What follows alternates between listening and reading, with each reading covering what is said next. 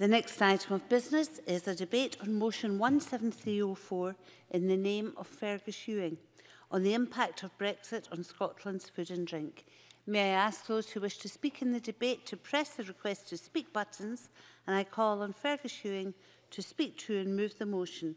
For up to 12 minutes, please, Cabinet Secretary.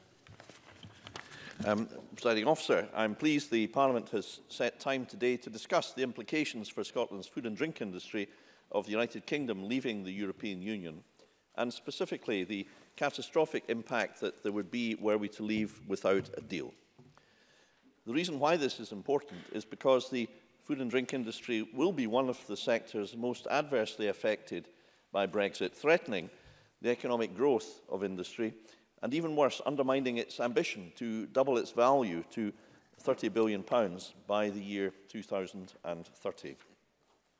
Our food and drink industry is both economically and culturally vital to Scotland.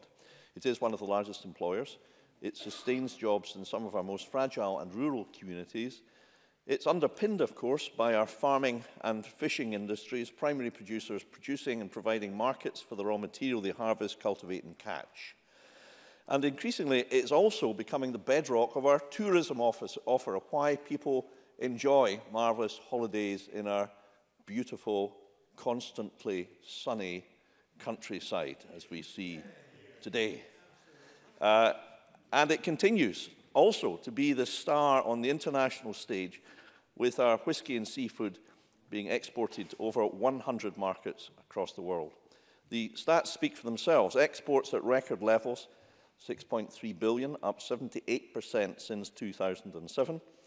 Sales of Scottish brands across the UK market, 37% since 2007. Investment by Scottish businesses up 72% since 2007. And the birth rate of new businesses as well up 86% in the past eight years. And today, presiding officer, I can share the news that the latest turnover statistics measuring the overall value of the industry in monetary terms were published. These show that turnover in Scotland's food and drink sector is now at record levels. Turnover for 2017 was valued at 14.8 billion, an increase of 836 million on the previous year. What a tremendous tribute to all of those who work in the sector, uh, helped by the continued and substantial support from the Scottish Government. Indeed, since the EU referendum result in June 2016 alone, the Scottish Government has provided £90 million pounds worth of grants to the industry through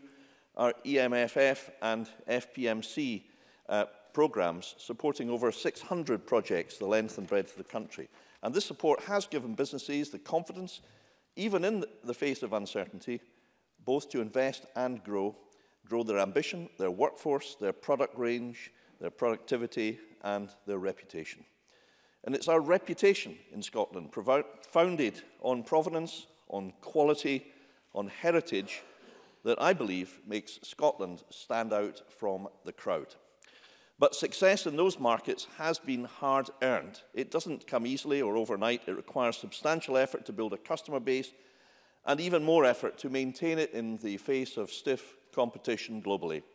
And for some sectors, such as seafood, the supply chains are finely honed to ensure maximum speed and efficiency, facilitated through trading arrangements which are built up over a number of years. Last month, however, we came perilously close to jeopardising all of this. As members know, the uh, European Council has extended the UK's membership of the European Union until the 31st of October. This extension rescued us uh, from the nightmare scenario. And had this not happened, presiding officer, the impact on the food and industry would have, uh, food and uh, drink sector would have been catastrophic. There would have been severely, severe disruption of our supply chains, imposition of punitive tariffs, loss of markets, complex and costly non-tariff barriers, including the requirement for export health certificates. But thankfully, we were spared that. However, as things stand, if an agreed way forward is not found soon, The risk of a no deal will rise again with the potential of more money, time and effort being wasted. Now, of course, the UK government could remove that risk now by making it clear that if the only alternative is a no deal, then it will revoke Article 50 instead. That is in its gift. Until that happens, the Scottish Government will continue to do all it can to support the industry prepare. Over the past six months, we've worked extensively with stakeholders from across the industry to seek to minimize the damage if we crashed out. And today, I want to update uh, members across the Chamber on that work. I spoke earlier of the success of the industry, and at the heart of that success, I contend, presiding officer, is our trading relationship with the EU. Because uh, last year, over two-thirds of our food exports went to the EU, Seven out of 10 top export markets are in the EU. The EU is the largest market for Scotch whisky. 64% uh, of seafood exports go to the EU, the, the majority relying on just-in-time supply chains across the channel. France alone accounts for a quarter of red meat exports. And also our seafood industry is heavily reliant on EU nationals, many of whom have made a life in Scotland – And indeed, in Grampian, over 70% of the workforce are from the EU. Now, the reason the implications are so severe is because the food and drink industry is significantly far more important to Scotland's economy than it is to the rest of the UK's, particularly England. Our food and drink exports are four times more important to our economy than they are to the economy in England. Seafood, ex seafood exports account for 58% of our overall food exports, And this compares to seafood, seafood exports from England, accounting to only 6% of their food exports. The seed potato industry, which exports over 30,000 tonnes annually to the EU, is unique to Scotland. The cumulative impact, therefore, of leaving the EU without a deal is estimated to be a £2,000 million pounds loss of sales for Scotland's industry. Starting off, these figures are calculated by the industry using the UK government's own economic projections. I have conveyed this to the UK government. Indeed, I wrote to Mr Gove on the 19th of February setting out 10 very clear and practical asks, issues such as guaranteeing continued protection in the EU for our iconic products that hold protected geographical indications, PGIs, absolutely essential to high-quality Scottish produce, negotiating market access both to the EU and third country markets, facilitating frictionless supply chains by allocating space on the government-funded ferries for seafood and other time-sensitive products, seeking a derogation from the EU to avoid the need for export health certificates, estimated incidentally to cost the industry up to £15 million pounds per annum extra, financial support for livestock producers, particularly sheep farmers, likely to be completely shut out of export markets because of the impact of tariffs. But despite these and other compelling arguments, which I conveyed in person, Mr Ghost's res response, sadly, was non-committal. Uh, Certainly. Edward Mountain. Cabinet Secretary, thank you for taking an intervention. I believe yesterday at the evidence session that Michael gave, the, gave to the REC Committee when asked on the problems facing the sheep industry, he said words to the effect of, I am waiting for the Cabinet Secretary, Fergus Ewing, to come to me and we will listen to all his proposals. Have you gone to him with specific proposals and could you lay them out for us so we can understand them? Fergus Ewing. Well, uh, not only have we gone to him to discuss an appropriate compensation scheme, we have had several discussions about this face to face around the table. Uh, and that includes a compensation scheme on a headage basis, which would provide an element of compensation to hill farmers in Scotland. I'm pleased to say that there is an, an element of apparent agreement, but there is no proposals specifically from the UK government. And indeed, the minutes of the devolved administration UK government meeting, uh, which discussed Brexit costs, will record the fact that Mr Gove undertook, on behalf of the UK government, confirmed in the minutes, which were not challenged at the subsequent meeting, which I also attended, that the UK government will meet all the Brexit costs. But then, presiding officer, when we came to discuss, Ms Goujon was there with me at the time, when we came to discuss how and who would pay for the compensation scheme for our sheep sector, absolutely essential, the paper submitted by the UK government said, and wait for it, each devolved administration must pay its own costs. Yes. So I'm glad that I'm able, and thank you for the opportunity, incidentally, Mr. Mountain, to set that on the record. You know, I don't, well, obviously, I don't wish to make any comment which could be construed as partisan or party political, presiding officer.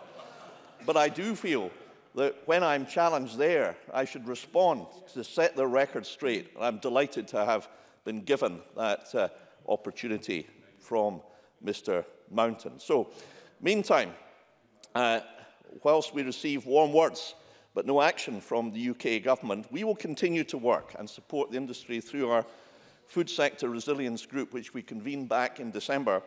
Represented on the group are organisations from across the industry and wider supply chain, including retailers, grocers, wholesalers, hauliers, and the public sector.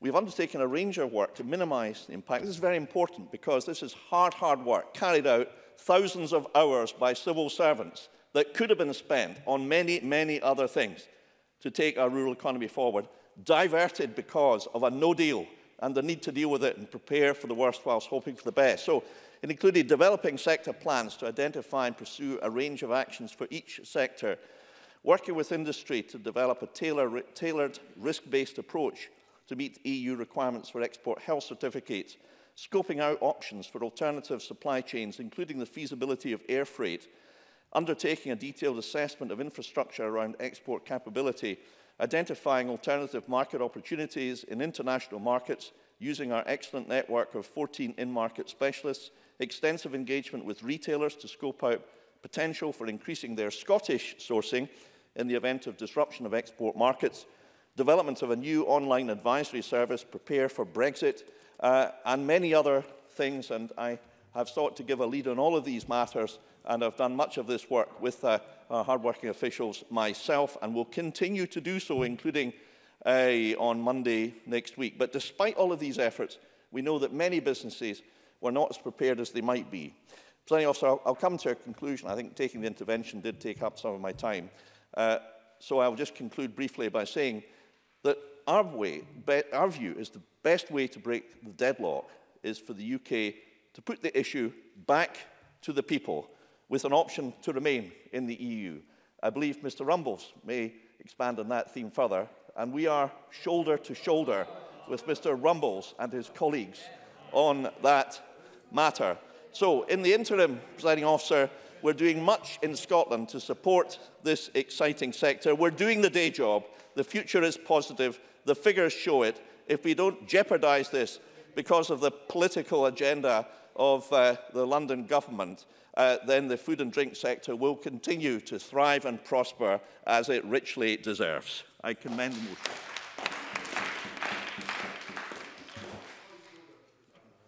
Point of order, Edward Mountain. In my haste to try and get the Cabinet Secretary to correct a statement he made, which he was unable to do. I failed to declare that I have an interest in a farming partnership before I spoke. I know members are aware of that, but I just wanted to put it on the record,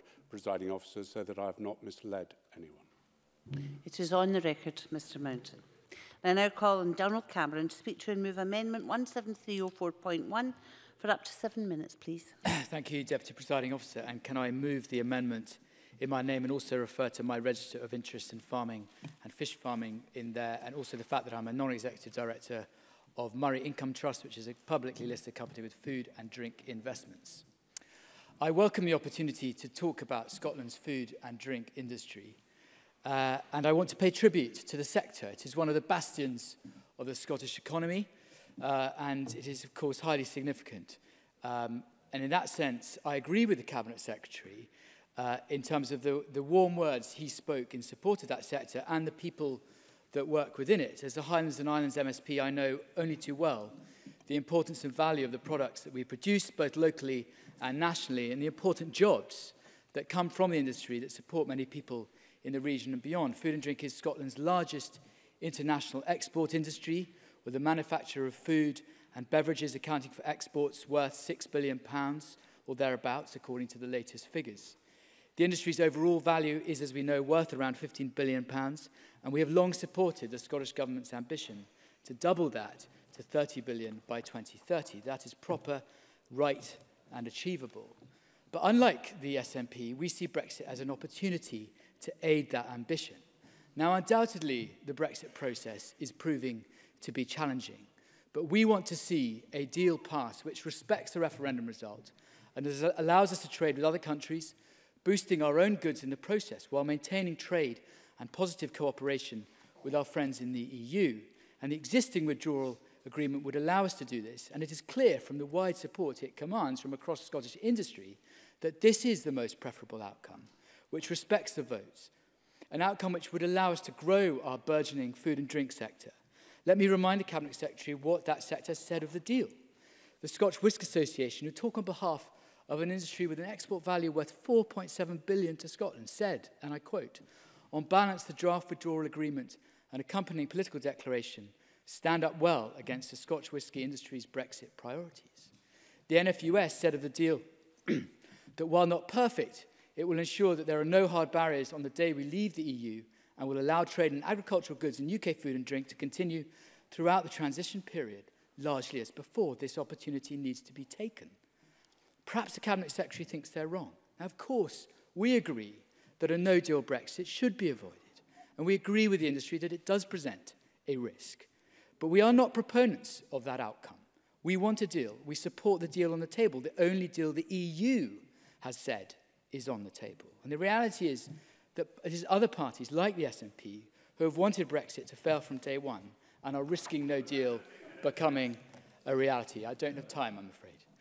Because what really grates with these benches is that one of the greatest threats to the growth of food and drink is, of course, the SNP's recent announcements relating to a second independence referendum.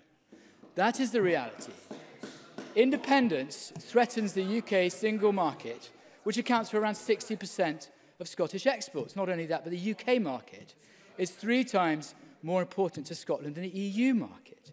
And the SNP's plans for an independent Scotland to quickly ditch the pound in favour of a new Scottish currency would put our food and drink businesses at significant economic risk. We are shortly going to waste valuable parliamentary time on legislation for such a referendum that just one in five Scots want to see in the next two years. Time which could be spent debating food and drink policy. Time which could be spent debating a good food nation bill. Time which could be spent debating a Scottish agriculture bill. So it ill befits the SNP to come here and preach about the dangers of Brexit when the policy of independence would wreak havoc on Scotland's food and drink sector. Yes. Alistair Allen. I, I thank the member for giving way and listen to what he has to say about what he feels is the agenda of this parliament uh, being overtaken by constitutional matters. Is he aware just how little time the United Kingdom Parliament has been able to devote to any subject other than Brexit in the last few months? Yeah, zero. Donald well, Cameron. Of course, of course, of course, Mr Allen would prefer to divert attention from the lack of ambition that his party, his government, show in this parliament. Because that, uh, that lack of ambition is clear today. A pattern has emerged when it comes to a Brexit debate. It is, a it, it, it is simply a smokescreen to hide the failure of his government to come up with anything novel or radical when it comes to policy. And the NFUS Director of Policy said recently the Scottish Government's agriculture approach there's no vision. He said, we, we have not got a clue at the moment. That's a pretty damning indictment, in my view, presiding officer. Because if we are to succeed in delivering an even more successful food and drink industry, we need to drive policy from the point of view of farm to fork, ensuring that each stage of the process is properly supported where appropriate by government and tailored to specific needs.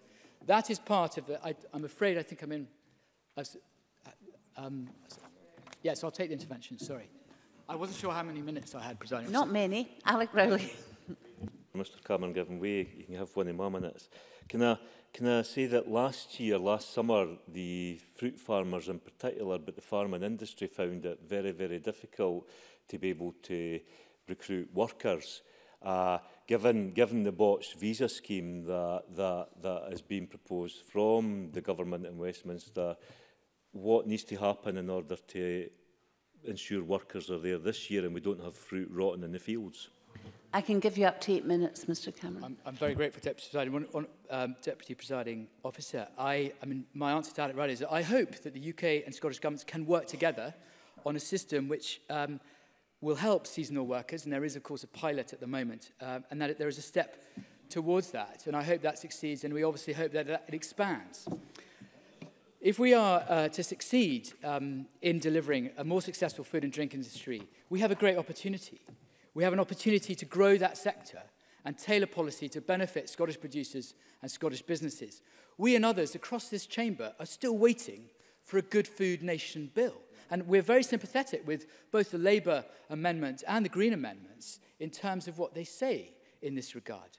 WWF Scotland has said that such a bill would help Scotland navigate this period of change and tackle the multiple environmental, social and economic challenges of the Scottish food system and harness the opportunities. And on that very subject of our excellent, unique produce, it's important to recognise the work that is going on to protect some of our most iconic brands.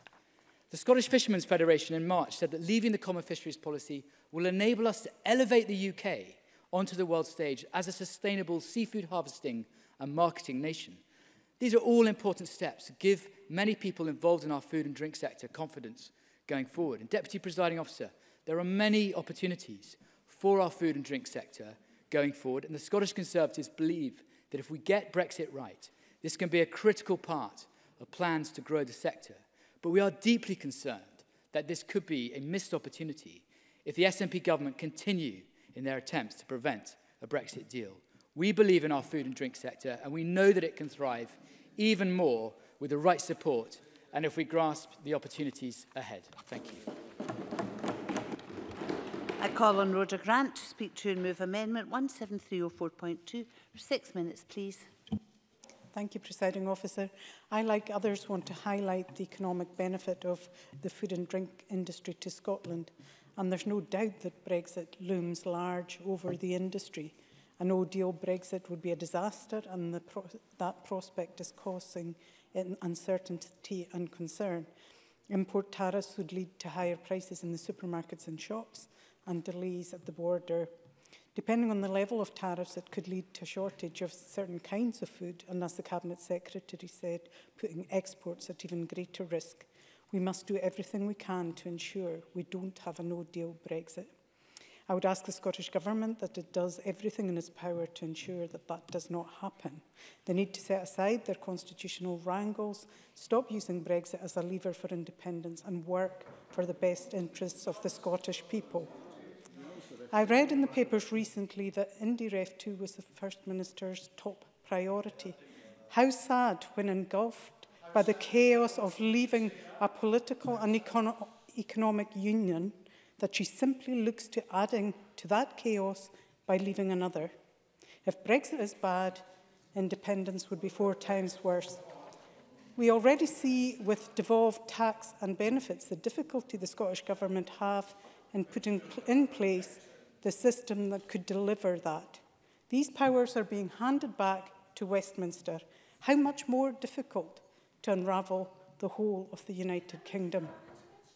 on that, yes. Certainly. Annabelle Ewing. I'm most grateful. Um, I had thought that the title of today's debate was The Impact of Brexit on Scotland's Food and Drink, and I would have thought that the member would be able to seek to support the many, many important businesses in her constituency who would be crying out for their voice to be heard, who work in the sector on this important uh, debate. Rhoda Grant. And, indeed, and, and stopping the breakup of the United Kingdom actually assists the food and drink producers in my constituency. Hi. Excuse me, Miss Grant. I won't have shouting between benches, please. It's not acceptable. Rhoda Grant. I simply ask that the Scottish Government use their devolved powers in order to put us in a better place and come what may. Firstly, it's simply wrong that in a rich country we have people who are going hungry. Children suffer from diseases and malnutrition that our parents' generation thought they would never see again. The Scottish Government have power to legislate for a right to food. It's a human right. It's a human right, so let us legislate to enshrine it in our laws. This will enable us to ensure that no one goes hungry and enable us to hold ourselves and the Scottish Government accountable when they do. The scourge of malnutrition and obesity could be dealt with, and with that, the unnecessary chronic health problems and pressures that it will store up for the NHS in the future. We also need to face up to climate change. It's a climate emergency, and I think we're agreed on that.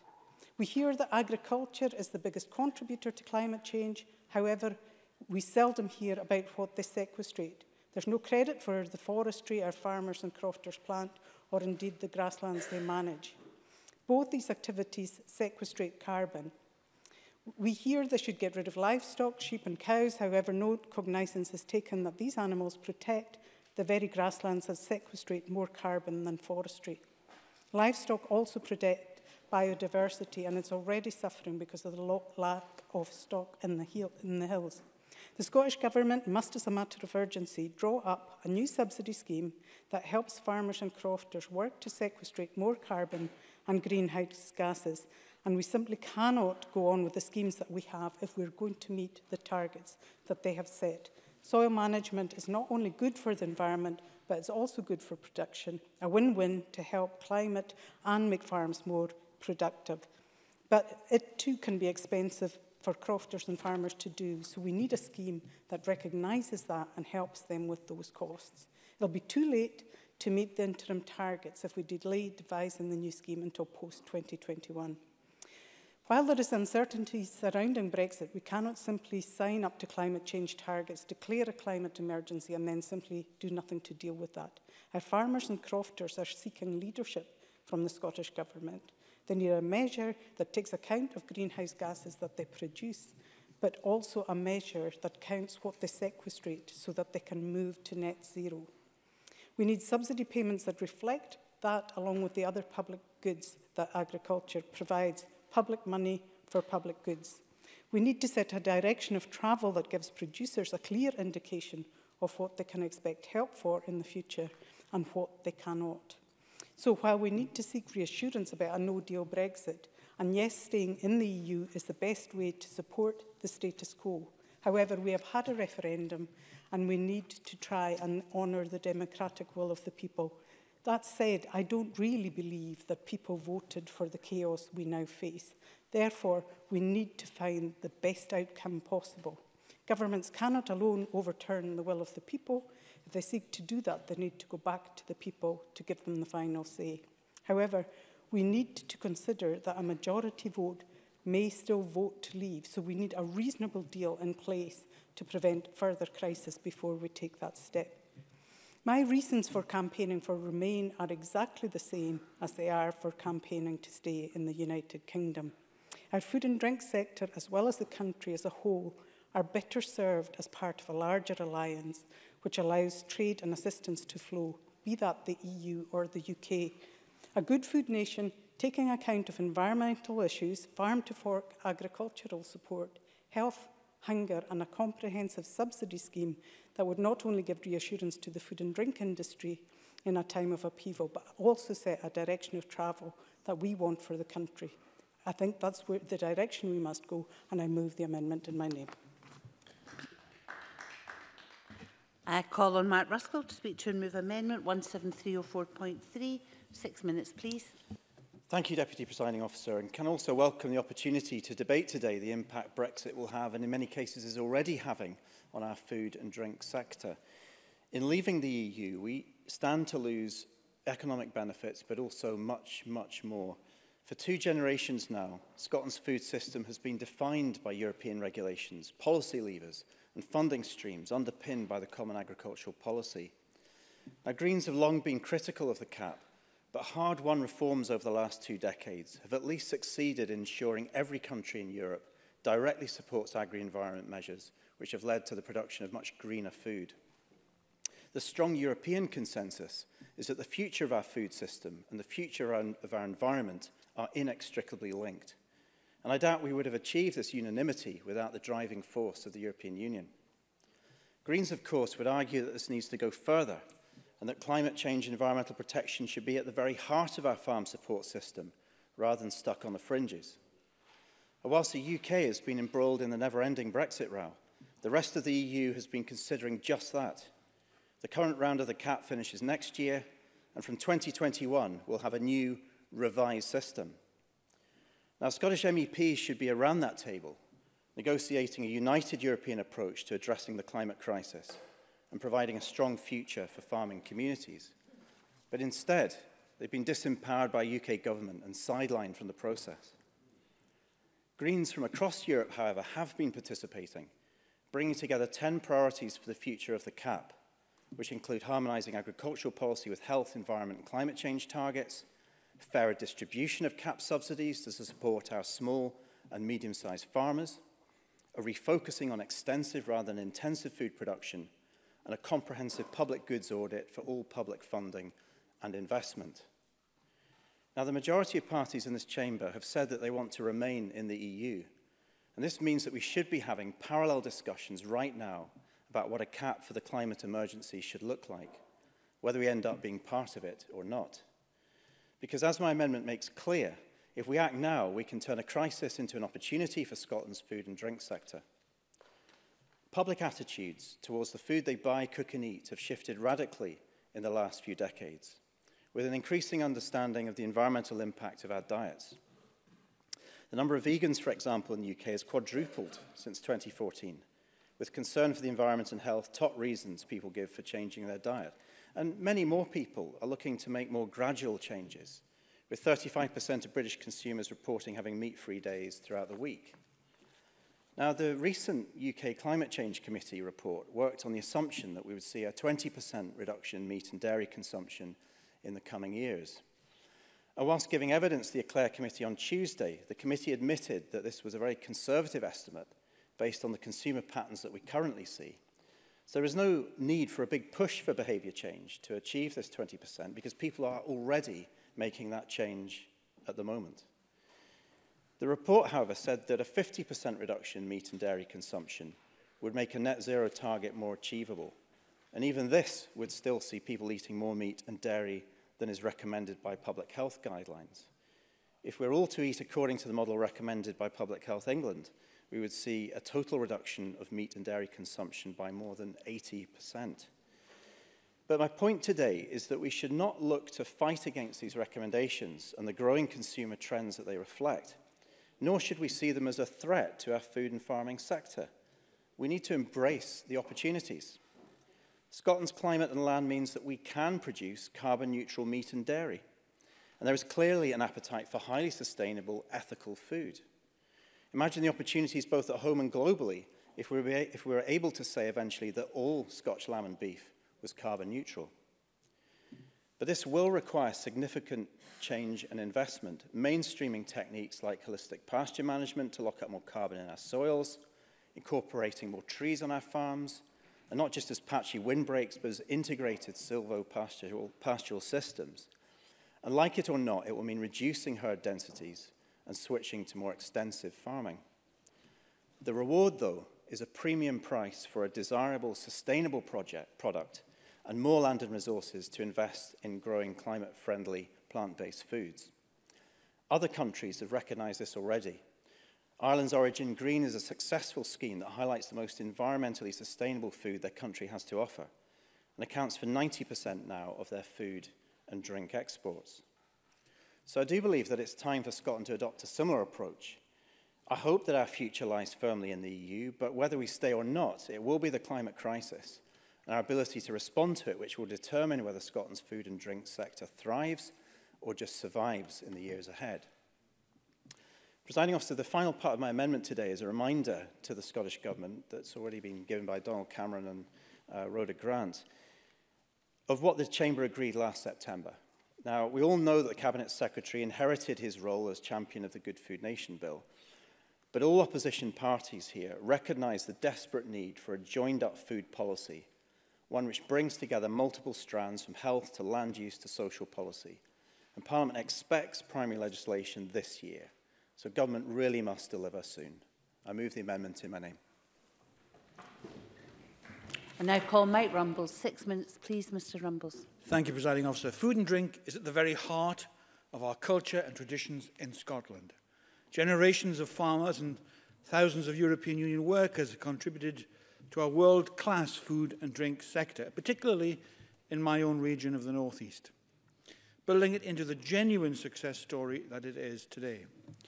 As we've heard, food and drink is vital to our rural economy, bringing much-needed employment and business opportunities to families and communities all over rural Scotland. However, our producers are on the front line of the greatest threat to our economy for very many years, and I do not say that lightly. We've just heard from the Cabinet Secretary that Brexit could cost our farming, fishing and crofting sector some £2 billion a year. And I am astonished the Conservatives don't think that is a major threat. There is no doubt that a no-deal Brexit would be catastrophic for our rural economy. And having questioned Michael Gove on this just yesterday, it is quite obvious to me that he is inexplicably relaxed about a no-deal Brexit. The man in charge of agriculture south of the border refused to confirm to me that he would do everything in his power in the UK cabinet to argue to avoid at all costs a no-deal Brexit. Quite frankly, it is astonishing to me that the Conservatives have failed to rule out a no-deal Brexit. We will be supporting the Scottish Government's motion today – I'm very pleased to say that we supported absolutely. As far as the amendments are concerned, I want to say that the Liberal Democrats prefer the government's motion as it stands. It properly reflects our position. We are the only party in this chamber that wants to stay in both our unions. Make no bones about that. Both our unions. And therefore, we will not be supporting any of the amendments, as all of them, in our view, dilute the message we want to set out from our Parliament. by far the largest market for our food and drink remains the rest of the UK. 61% of all Scottish exports are destined for the rest of the UK. Cheap, low quality, low quality imports from countries outside the European Union would undermine all the good work that our producers have done, not to mention endangering our progress towards green and sustainable land use. For that reason, our food and drink industry's reputation for quality must be protected. Scotland's food exports are sold across the European Union, and the removal of the common European Union framework could seriously impact on our trade. On top of that, and the Minister, the Cabinet Secretary already mentioned it, non-tariff barriers with the EU could cause administrative delays that would be particularly detrimental to our trade in fresh produce. In addition, we are now seeing how important non-UK nationals are for agriculture and our wider food and drink industry. And it annoys me intensely how the UK government is just ignoring that. Whilst the UK government has allowed 2,500 visas for migrant workers, the National Farmers Union of Scotland has reported that the number of vacancies left open this year will be a staggering 10,000 across the UK as a whole. What will happen to our fruit growers? if those jobs can't be filled? The answer is simple thousands of tons of food rotting in the fields because of the lack of workers. And this is a deliberate policy of the Conservative UK government. Currently, one third of the current labour force across Scotland's food and drink sector comes from the EU countries. I fail to see how those numbers can be replaced without free movement across the continent. And I know uh, many of my uh, of the colleagues that sit on the Rural Economy Committee believe that it's important to have free movement across the continent, but they seem to be silent in this debate. A no-deal Brexit would write off some of our best producers and damage many rural communities. Until now, the Scottish food and drink industry has been going from strength to strength, assisted by the government, and so we have a duty to support it. There is, of course, more the Scottish Government could do to mitigate the damage of Brexit on our rural economy. And I've said many times in this chamber that I want to see a bespoke system of support for Scotland with continued financial support for the foreseeable future. And I know the Cabinet Secretary is making progress on this. But as long as Brexit and the threat of a no deal remains on the table, the UK government and Conservative MSPs in this chamber who support it, have a great deal of responsibility and a great deal to answer for the damage that will be thrust upon our rural economy. However, I want to end on a, a positive note from our perspective. The Liberal Democrats believe that the continued success, and it is a huge success, of our food and drink industry, as the motion before us says today, can best be achieved through continued membership of the European Union. Thank you. We move on to the open debate. Speeches of five minutes, please. Bruce Crawford, followed by Peter Chapman. Uh, thank you, President Officer. President Officer, it's now nearly seven weeks from the date that the UK was originally expected to leave the European Union. And many of us in this place simply cannot believe that we were cl close to the precipice of economic catastrophe as we became. That being said, Even to this very day, the UK government will not categorically rule out leaving the EU without a deal, despite the fact that even their own analysis says that such a scenario would severely hit the Scottish economy. And as we see in the media reports, the Tories are intent in putting this country through the ringer of despair yet again by attempting to resurrect May's deal from the dead. They have learned nothing from the months and months of purgatory that they've put our citizens through and they're holding them in as well as our businesses. It's clear that Westminster is incapable of finding a resolution. So I agree with the Minister. It's time for the Cabinet Secretary. It's time to let the people decide.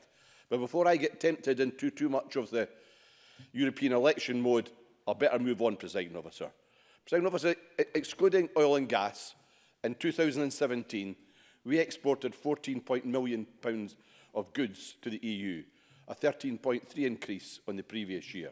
The EU remains our fastest growing trading sector. Now, of course, our biggest export success is the food and drink sector.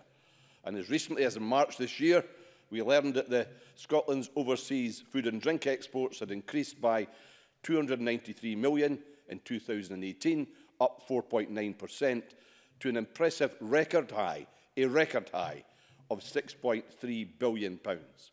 The EU remains the destination, as the Cabinet Secretary said, for two-thirds of our food exports.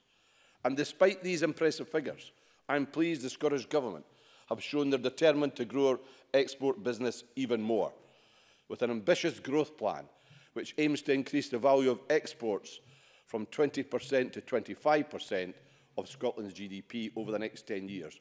A trading nation, a plan for growing Scotland's exports, sets out how Scotland can add around 3.5 billion to GDP and create 17,500 jobs.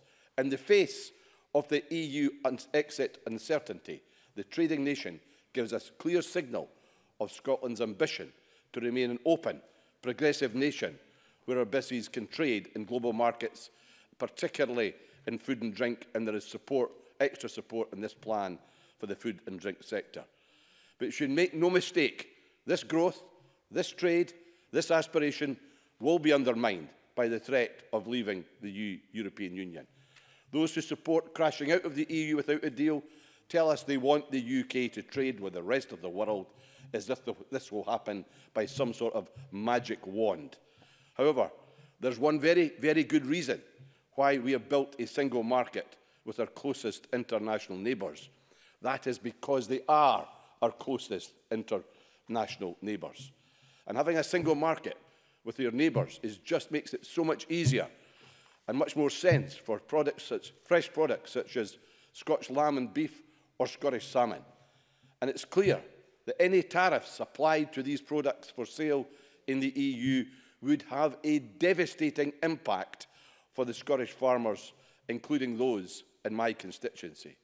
Moreover, the UK government's planned abandonment of the freedom of movement of people presents a real and present risk to our food and drink sector. EU immigrants make up an incredible contribution to the sector, all the way through from the farm gate to processing, to marketing, to retail, indeed right through to the hospitality businesses. Scotland's economy needs that constant stream of inward migration from our neighbouring countries, but this is being threatened by the UK Tory government. Another important area that I briefly want to touch on, presiding officer, is protected geographical indicators through the European Union.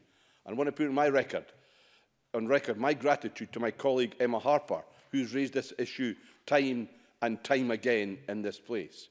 PGIs are the best way to ensure that products local to specific locations in Europe do not suffer from competition from cheap copycats, as suggested by Mike Rus Rumbles, or much lower and quality and non-existent provenance. This status ensures the integrity of Scottish products bought and sold across the entire European single market and throughout the countries that have trade deals with the EU. Of course, the only real way to protect EU protected status for Scottish products is to remain in the European Union. And, presiding officer, if I could be so bold, the best way of ensuring that we remain in the EU is to vote for the SNP in next week's European elections. Peter Chapman, followed by Annabel Ewing. I thank you, Deputy Presiding Officer. And the Register of Interest is a partner in the farming business. In the Brexit referendum, I voted to remain. Nevertheless, as soon as I heard the result, I was committed to make it happen. Unfortunately, we all underestimated how difficult it would be, and as of now, we have obviously not left, and we don't know what deal will gain parliamentary support. I want to leave. I want to leave with the only deal on the table, as do the NFUS, the Scotch Whisky Association, and virtually the whole business community but uncertainty abounds. Most of us agree we do not want a no deal Brexit. So let me be clear the only sure way to avoid a no deal Brexit is to vote for the deal on the table. Our food and drink industry is a vital part of our economy. Since 2007, we have seen the industry grow 44% to £14 billion. Pounds. Our exports are, worth, are up 56%, worth 5.5 billion, and food and drink has grown at twice the rate of the rest of the manufacturing economy. This is a great success story for Scotland. And to be honest, it's no surprise that our food and drink has grown at this rate, as we have such a diverse natural environment and some of the best farmers, business people and fishermen in the world. Scotch whisky is around, uh, well, Mike Rumbles. Considering that we heard that 70% uh, of our workforce in the food and industry, drinking industry is from the EU, does the member think that it's, does he believe that it's, it's worth keeping free movement of people to help our food and drink industry? Peter Chapman. We don't need free movement, but we do need to allow the, the, the, the people and that we need to, to grow our economy. and that's, that's, exactly, that's exactly what we will achieve. That's exactly what we will achieve. That is exactly what we will achieve. Um, where are we? Scotch whisky is around 80% of our food and drink. It is not just Scotland's, but the UK's largest net contributor to our balance of trade. This is a premium product that is sought worldwide and is growing in value and volume year on year. Presiding officer, the SNP obsession with independence means they would like us all to forget. They would like us all to forget that our biggest and best export for food and drink is the rest of the UK. For example, 80% of Scotch beef is sold into England. More important to Scotland, it's, the UK single market is over three times more important to Scotland than the EU single market. Scottish exports to the UK are worth £48.9 billion pounds against £14.9 billion in exports to the whole of the EU. I have no time. But of course, these EU exports are important. And if we vote for the deal on the table, which aims for frictionless and tariff-free trade, there is no reason why we can't keep all these exports, and indeed grow them. We must also recognise that there are markets right across the world for our produce. America takes large amounts of our sal salmon, and the Far East is now a premium market for much of our shellfish, to name just two markets. And we should be debating making more of that happen rather than debating going back on a democratic yeah. vote. With the food and drink sector aiming to grow to be worth 30 billion by 2030, we must continue to support our farmers, fishermen and salmon producers who produce the high quality food and the raw materials on which our world renowned goods are based. And I have said time and time again in this chamber that Brexit offers a prize to design a system of support that suits our farmers and our environment here in Scotland. But this government has made precious little attempt to seize that opportunity. Future support must also focus on our already strong animal welfare and environmental standards, and we must never undermine these high standards by allowing imports produced under systems which are illegal here. Presiding officer, today's motion by the Scottish Government makes it abundantly clear that they do not respect the views of Scotland's fishermen. Continued membership of the EU would be a disaster for taking back control of our waters. But this debate today has shown that taking back control is not a priority for this government. They want to maintain the status quo Stay in the EU and stay in the hated CFP. Mm -hmm. Try telling that to our fishermen in the northeast and see how that message goes down. Fishing matters to the Conservatives. We are the only party who recognise and are fighting to obtain the sea of opportunity that Brexit brings, and our fishermen know it. Presiding officer, in finishing, I know that many people here today have been left disappointed by the SNP's delayed and discredited promise to deliver the Good Food Nation bill. They could have used this slot today to bring that to the Chamber exactly. and not used another parliamentary debate to scaremonger about Brexit. It is clear they only want one thing, and pushing for a chaotic Brexit is just another tool they are cynically using to achieve it. Well said. Annabel Ewing, uh, followed by Colin Smith. Hey, thank you, Presiding Officer. I am pleased to have been called to speak in the debate this afternoon and at the outset I would wish to highlight the important role of the sector in my constituency of Cowdenbeath, indeed Maui, who members may know uh, uh, uh, in terms of its former name of Marine Harvest, has a salmon processing plant in Resyth and employs 636 full-time equivalent workers. It accounts for around 11,200 tonnes of product sold and 165 million in sales. Uh, and as uh, far as the Scottish salmon industry as a whole is concerned, the turnover is just over 1 billion and the gross value added is 365 million. International exports are worth in excess of 600 million pounds and the EU remains the largest single regional market with exports increasing year on year, up 22% from quarter 1 2018 to quarter 1 2019. It is clear, therefore, that the Scottish salmon uh, sector is a hugely important industry and hugely important to the Scottish economy. It is a premium product. It is an award-winning product. And the industry and the sector has seen tremendous growth. However, the continuing Brexit uncertainty is casting a considerable shadow. Indeed, the Scottish Salmon Producers Organisation has said, and I quote, the Scottish salmon sector believe a no-deal Brexit would be the worst outcome.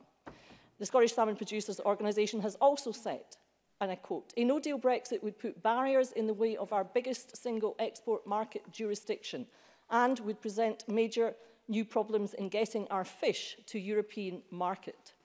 They have identified key problems in this regard, including non-tariff barriers. At present, export health certificates are not currently needed for exports to the EU, e but in a no-deal Brexit, the possibility of there being uh, requirements for anything up to 200,000 certificates per year looms very large. And where would we rustle up all the extra environmental health officers and vets that would be required? And what would be the cost? We've heard that the cost had been estimated uh, at uh, up to 15 million pounds per annum extra. And how would all this impact on the need to get the product to market in a timely fashion? And then we get on to transportation issues, another key concern for the salmon industry. For with the prospect of total gridlock in the southeast of England, it should be noted that a delay of even just a few hours will make it impossible for fish to get from Scotland to France with one driver, given uh, restrictions on driver hours. And a delay, presiding officer, of more than 12 hours will make it difficult to reassure customers that they will still be getting the fish fresh, a key consideration for the buyer. And whilst the French seafood hub of Boulogne-sur-Mer has put arrangements in place to fast-track fish once cleared, it is the threat of the lengthy queues in South East England that poses the real threat here. To date, the approach of the UK government has been extremely unhelpful, having uh, object, uh, rejected the possibility of special lanes for hauliers of perishable goods. And the UK government has also failed to provide any clarity as to whether new driving licences. and licenses and permits will be needed and how many will be available. This situation is untenable, it is unacceptable and no deal must be taken off the table. This was called for in an open letter uh, from the chief execs of various organisations including Scotland Food and Drink, NFUS, Quality Meat Scotland, Scottish Salmon Producers Organisation and others. And I quote uh, from that letter, there is no tolerance for no deal as an option. It must be rejected now. At the same time, the UK government must alter its anti-EU immigration policy. Uh, uh, plans. If adopted, these plans would be extremely detrimental to not just the Scottish salmon industry, which relies on EU nationals, but also to the entire Scotland food and drink sector. Why does the government not listen to the NFUS, who have stated, and I quote, NFUS is very concerned by the obstructive position being taken by the UK government in regard to the future immigration system after breakfast. Or listen to the Director General of the CBI who said just this week that the UK's immigration plans do not work for Scotland and she called for flexibility. And what does this anti-EU national uh, rhetoric say to those EU nationals uh, from the EU27 who are currently employed in Maui in my constituency? What certainty can they have? What about their families? What about their plans to school their children and to see their wider families over the years? Why is the UK government disrespecting these workers so? Presiding officer, a no-deal Brexit is bad news uh, for Scotland. A hard Brexit is bad news for Scotland. Indeed, any Brexit is bad news for Scotland. So Scotland did not vote to come out. Scotland voted 62% to remain in the EU. Scotland wants to be in the single market and customs union. Scotland is for Europe. And in closing, I would echo uh, my colleague Bruce Crawford in calling on the people of Scotland to send that message loud and clear by voting SNP next Thursday at the ballot box. Thank you, presiding officer. Colin Smith, followed by Stuart Stevens.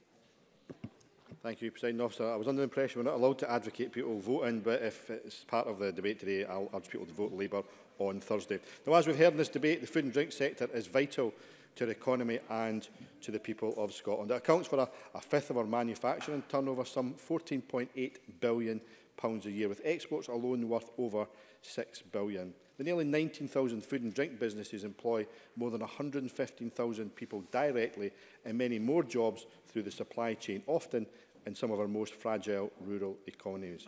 In my own home region of Dumfries and Galloway, the sector is worth £1.2 billion to the economy, employing more than 9 1,000 people. As a local councillor, I had the privilege of launching the Dumfries and Galloway Food Trail, which invites people to eat and drink their way around the, the natural ladder of the region to discover the artisan food and drink produced by some of the most passionate people in the business. Companies such as the uh, Cream of Galloway near the, the food town of Castle Douglas, where David and Wilma Finley are delivering an ethical farming model that shows there is an alternative to the export of live calves and along the way are producing some of the most amazing ice cream and cheese. Another such business is Lochaber, which, Lochaber, which I had the privilege as the chair of Dumfries and Galloway Fair Trade Steering Group of awarding fair trade flagship employer status, which helped to deliver fair trade status to the region. The trail takes people behind the scenes at food and drink producers such as Annandale Distillery, which after three years is producing its first whisky, a product I can personally vouch for. And the region boasts some of the, the busiest farmer markets, including at Dumfries Railway Station. We have some of the, the best food festivals and celebrations in the country, such as the Stranraer Oyster Festival, which celebrates the area's culture and heritage, and of course Loch Ryan's world-class oysters. As a result of the importance and potential of the sector, the local Labour-led Council have just published a new regional food and drink strategy which aims to double the value of the region's industry to 2.5 billion by 2030. But, Officer, as is the case across Scotland, this ambition is under threat as a result of Brexit, in particular a no-deal Brexit. 96% of businesses in Dumfries and Galloway are small or micro businesses, meaning the impact of Brexit could put their very existence at risk. With everything from trading terms and tariffs to labour supply now uncertain, it's hard to overstate how damaging Brexit could be to the sector.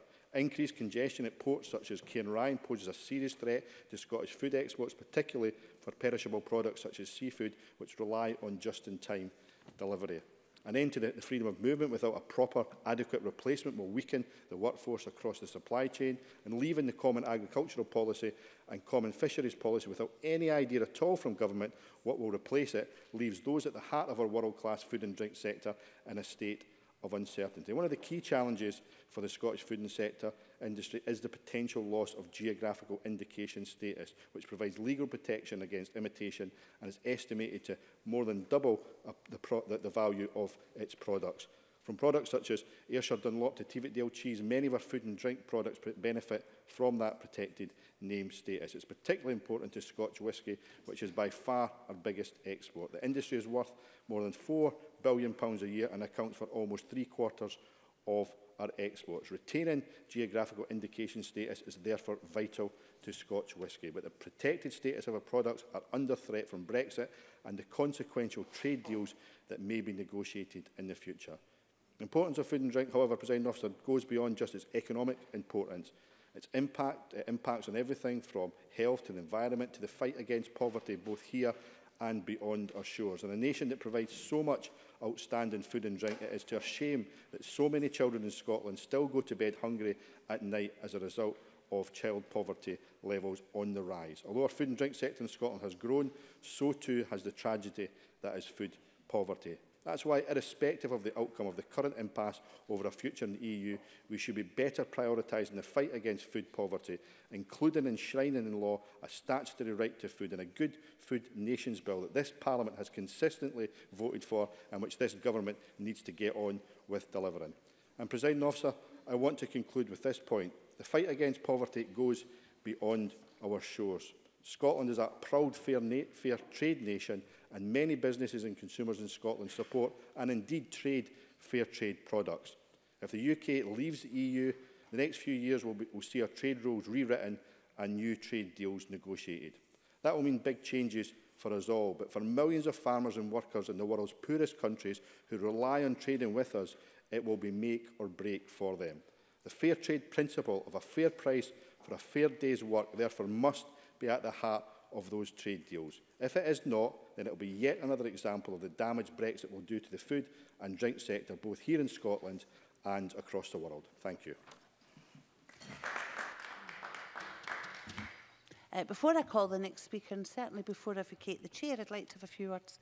Um, I have heard rumblings and I, I have had some notes um, about what's seen as electioneering in the chamber. Now, all I would say is that has ever been thus. We are all political people from political parties. Um, I would suggest that, uh, if you'll excuse me saying, we're all big enough and ugly enough to know what's sensible and what's not. And uh, we'd ask that just everyone has a bit of care about being overtly blatant and recognising that we all have political things to say. And perhaps we can all get on quite well with that. And I now call Stuart Stevenson, followed by Rachel Hamill. Thank you, uh, Presiding Officer. I will uh, look in the mirror and see if I fit the description you've just used. Um, let me just say I have a share in a very small registered agricultural holding uh, which is for sheep, so that touches on the matter. Um, we've got a number of things in relation to the debate around uh, the UK's planned departure from Brexit that have been put before us. Uh, Donald Cameron said that we have to vote for the deal that's available because it's the only deal. Well, of course, there's a reason it's the only deal. It's because it's the only deal that Theresa May asked for. In a Mansion House speech in 2017, she drew the red lines which constrained the ultimate deal to be the deal that's before us. But of course, the deal that before us is rather opaque because the uh, withdrawal agreement bill has not even been shown to the UK uh, cabinet as yet. It won't be published until, I predict, after the 23rd of May. And the reason for that is it will cause such internal chaos in the Tory party that Theresa May is trying to keep the publication of the bill as late as possible in the debate because she knows she cannot command the support of her own party. In these circumstances, it's very hard to work out why anyone else should support uh, the withdrawal agreement bill. The only on-the-record reference I've got is today from Sir Graham Brady, uh, who, who's the chairman of the 1922 committee, who Point says... Point of order, John Scott. Stevenson, address the motion, please. It hasn't thus far. I think Mr Scott does have a bit of validity in what he's just said, if you could bear it in mind. Uh, well, uh, presiding officer, I, I did start with the word Brexit. I think it was 4 minutes 33 seconds before the Labour contribution did so, and it's core of what we are. Mr but Stevenson, if you could address you food and drink, I think we'd all be a lot happier. Well, until we see what the bill says, some of the impacts on food and drink are definitely not going to be clear. But it is clear that uh, being out of the single market and out of the customs union are very severe impacts on food and drink matters that were proposed a month before the Mansion House Street uh, speech in December uh, eh, 2016. So, presiding officer, the whole issue of the future success of our food and drink uh, sector is one that will be determined to a very large extent by what happens uh, in relation to the departure of the UK uh, from the EU. Now, we've all, in every single constituency, be it urban or rural, we've got important food and drink uh, interests. Uh, I want to talk about just a very small uh, company in my own uh, constituency, and that's Summerhouse Drinks. Um, they're a particular favourite of my wife's. She loves their lemonade in particular. And of course, doesn't that touch on something? Because we don't grow ter terribly many lemons. A lot of the drinks, of course, are entirely local products, lavender, mint that are grown locally. But uh, the lemons are going to be an imported thing. And who knows what the condition of the lemons she's going to be able to import and the price uh, that Claire Rennie on the Rennie family farm is going to have to pay for them in future. Um, it's Worth saying that there's a lot of preparation associated with Brexit. We in this Parliament have been doing a great deal. There's a prepare for Brexit.scot website that's been established to help Scottish businesses. And it talks of a number of the real issues for food and drink and for others. If you're exporters or importers, there may be huge increases in costs. 53% of UK goods generally uh, are imported, and that includes many of the materials that are required by the food and drink uh, industry. If you want to recruit, we've already heard about the uh, fruit to uh, industry who cannot get people into the country. And Michael Gove yesterday gave us no meaningful assurance that we'll be able to see people travel to the UK and in particular to Scotland to harvest our excellent uh, fruit and to continue to support our excellent uh, fish processing industry. I brought uh, the debate to the Parliament uh, on the Sea of Opportunity because leaving the CFP that the Tories took us into uh, is certainly something which will benefit uh, the fish catching industry insofar as they can catch more fish. But the economic benefit is denied us if our processing industry is unable to process the extra fish that are caught. Catching 50% more fish and earning three, half the value means you're actually worse off. So getting our processing industry in a good place is what we have to do. And my three whiskey distilleries, if we lose, as the Americans want in their negotiating position, to ab abandon the three-year in a warehouse uh, position, that will devastate the quality product that earns so much for our food and drink industry. Presiding officer. Rachel Hamilton, followed by Gail Ross. Presiding officer, um, we've heard today that Scotland's food and drink industry has been such a success story for many years now, and the industry continues to grow and grow. And um, we know that uh, food and drink in Scotland is the largest international export industry with a strong re reputation, whether, whether it be for uh, Scottish whisky or for fine Aberdeen Angus beef Farmers are at the heart of food production, and as we leave the EU, we have a fantastic chance to design and construct an agricultural support system that really delivers for Scotland. And we have in our own Scottish Conservative motion that recognises the need for change, a system perhaps which promotes environmentalism, as Mark Russell talks about, drives productivity, increases food production, and one that ensures farmers can innovate to be ahead of the technological uh, curve. Under years of cap, farming has not necessarily had the chance to properly thrive. The one-size-fits-all policy has to suit farmers and producers from the Arctic Circle to the Mediterranean Sea and everywhere in between. The cap has taken us so far, but with rising farm debt and falling incomes, it is starting to ring alarm bells.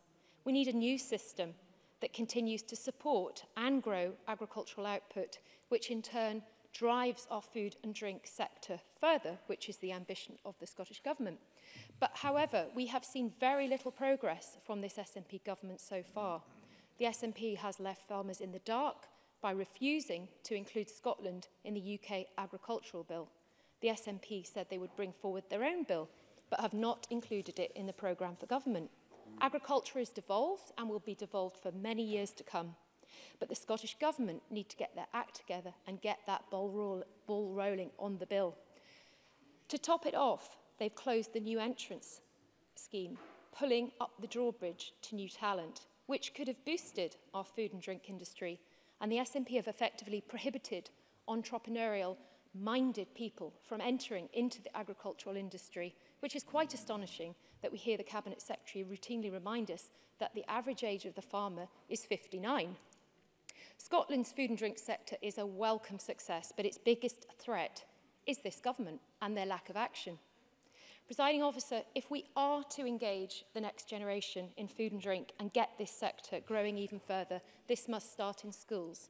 I've raised this issue before in the chamber when I called on the Scottish Government to consider introducing uh, a National 5 qualification in agriculture. We need to see lessons to improve tackling food waste, educating children on provenance on their food. And for far too long, there's been a disconnect between the classroom and the farmyard. And in order to realise the potential of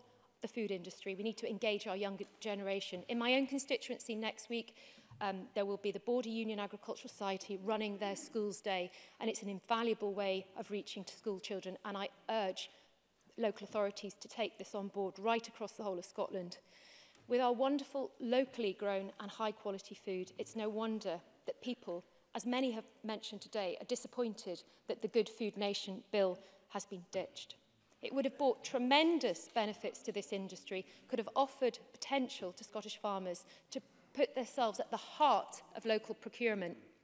Scottish schools are currently spending more than a million pounds sourcing meat from outside of Scotland, including hundreds of thousands of pounds on chicken from Thailand. When it comes to this in particular, we need to see local authorities offer more contracts to local producers, not only to boost the economy, but to reduce food miles and tackle climate change. Imagine children learning about locally produced and ethical food in the classroom, visiting the farm and enjoying it every day in the canteen. Wouldn't that be fantastic? It is entirely possible if the SNP would just bring back the Good Food Nation bill just for the sake of the children um, but also to tackle uh, the rising obesity levels and the need, the much needed um, stimulus for the rural economy. Presiding officer, Scotland's food and drink sector is an integral and extremely valuable part of our economy, but it could be much more. We have a unique opportunity to grasp these significant opportunities that Brexit will bring.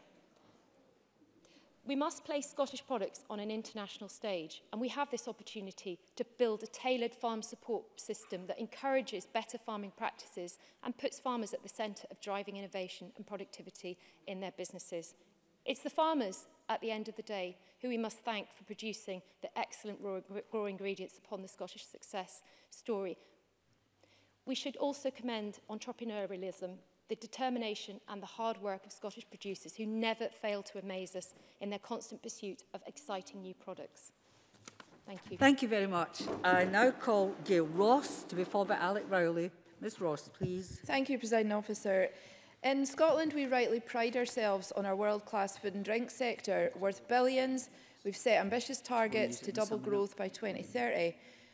Whisky and salmon are our two biggest exports, the production of both of which employs many people in my constituency. No one knows if we are to leave the EU with a deal. No one knows if we are to leave the EU or not, such as the mess the Westminster government have made of the negotiations.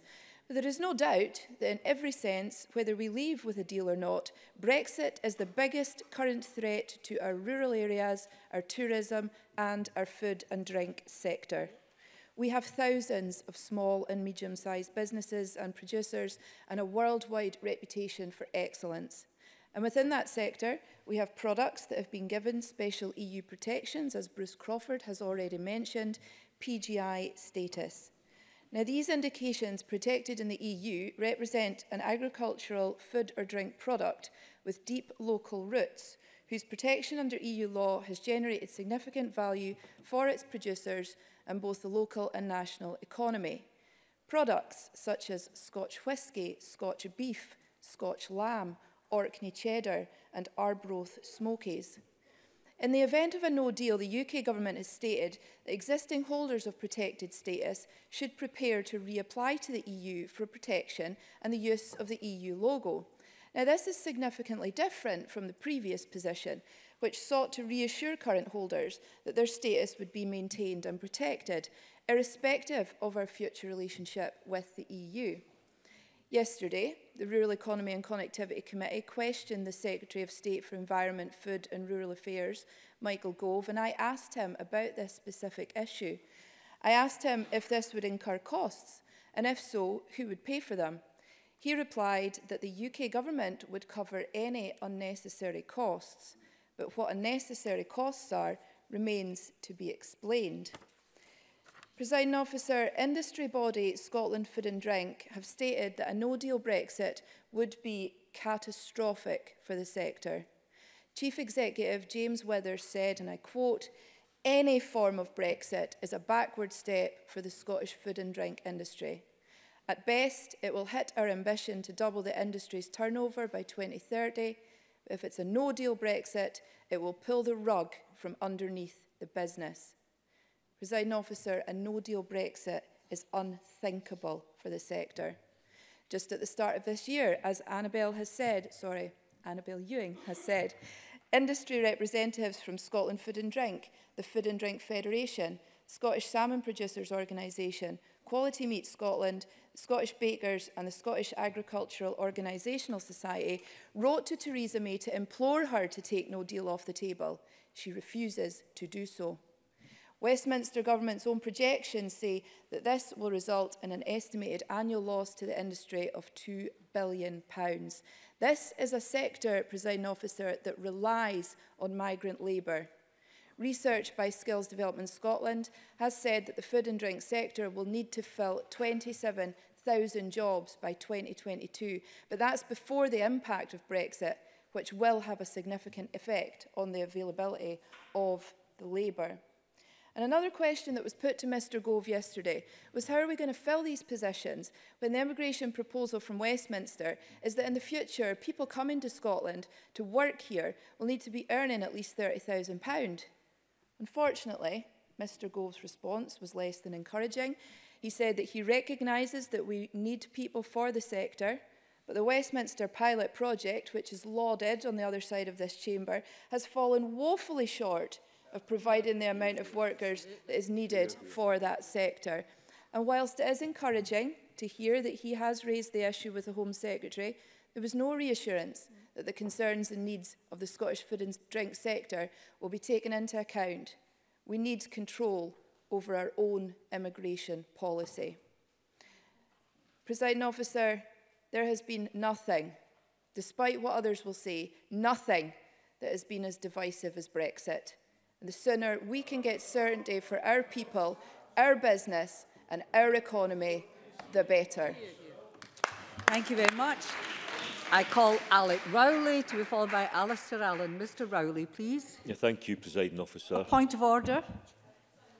Um, I just wanted to declare an interest. Um, I'm not a farmer. I'm not no. a food manufacturer, but I do um, have an interest in a business that sells food and drink. That's fine. Thank well you. done. Uh, Alec Rowley to be followed by Alistair Allen, please. Thank you, Presiding Officer. The potential impact of Brexit for the food and drink sector is huge be it on trade, inward investment, labour and employment, or policy and regulation. Brexit is not just a concern for UK food producers, but also for any food manufacturer, EU or non-EU, serving the UK market. With more than 50% of food currently being imported into the UK, there is no definitive blueprint as to what any new trading relationship would like, look like. And even if we were to get a, a deal through Westminster, it will take years to put that detail in place.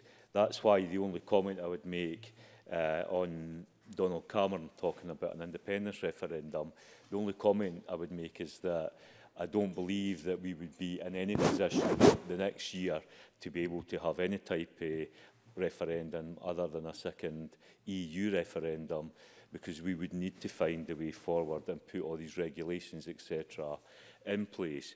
But the fact that we are dependent in this country, or the UK is dependent on 50% of our food being imported, should also, I believe, ring some alarm bells.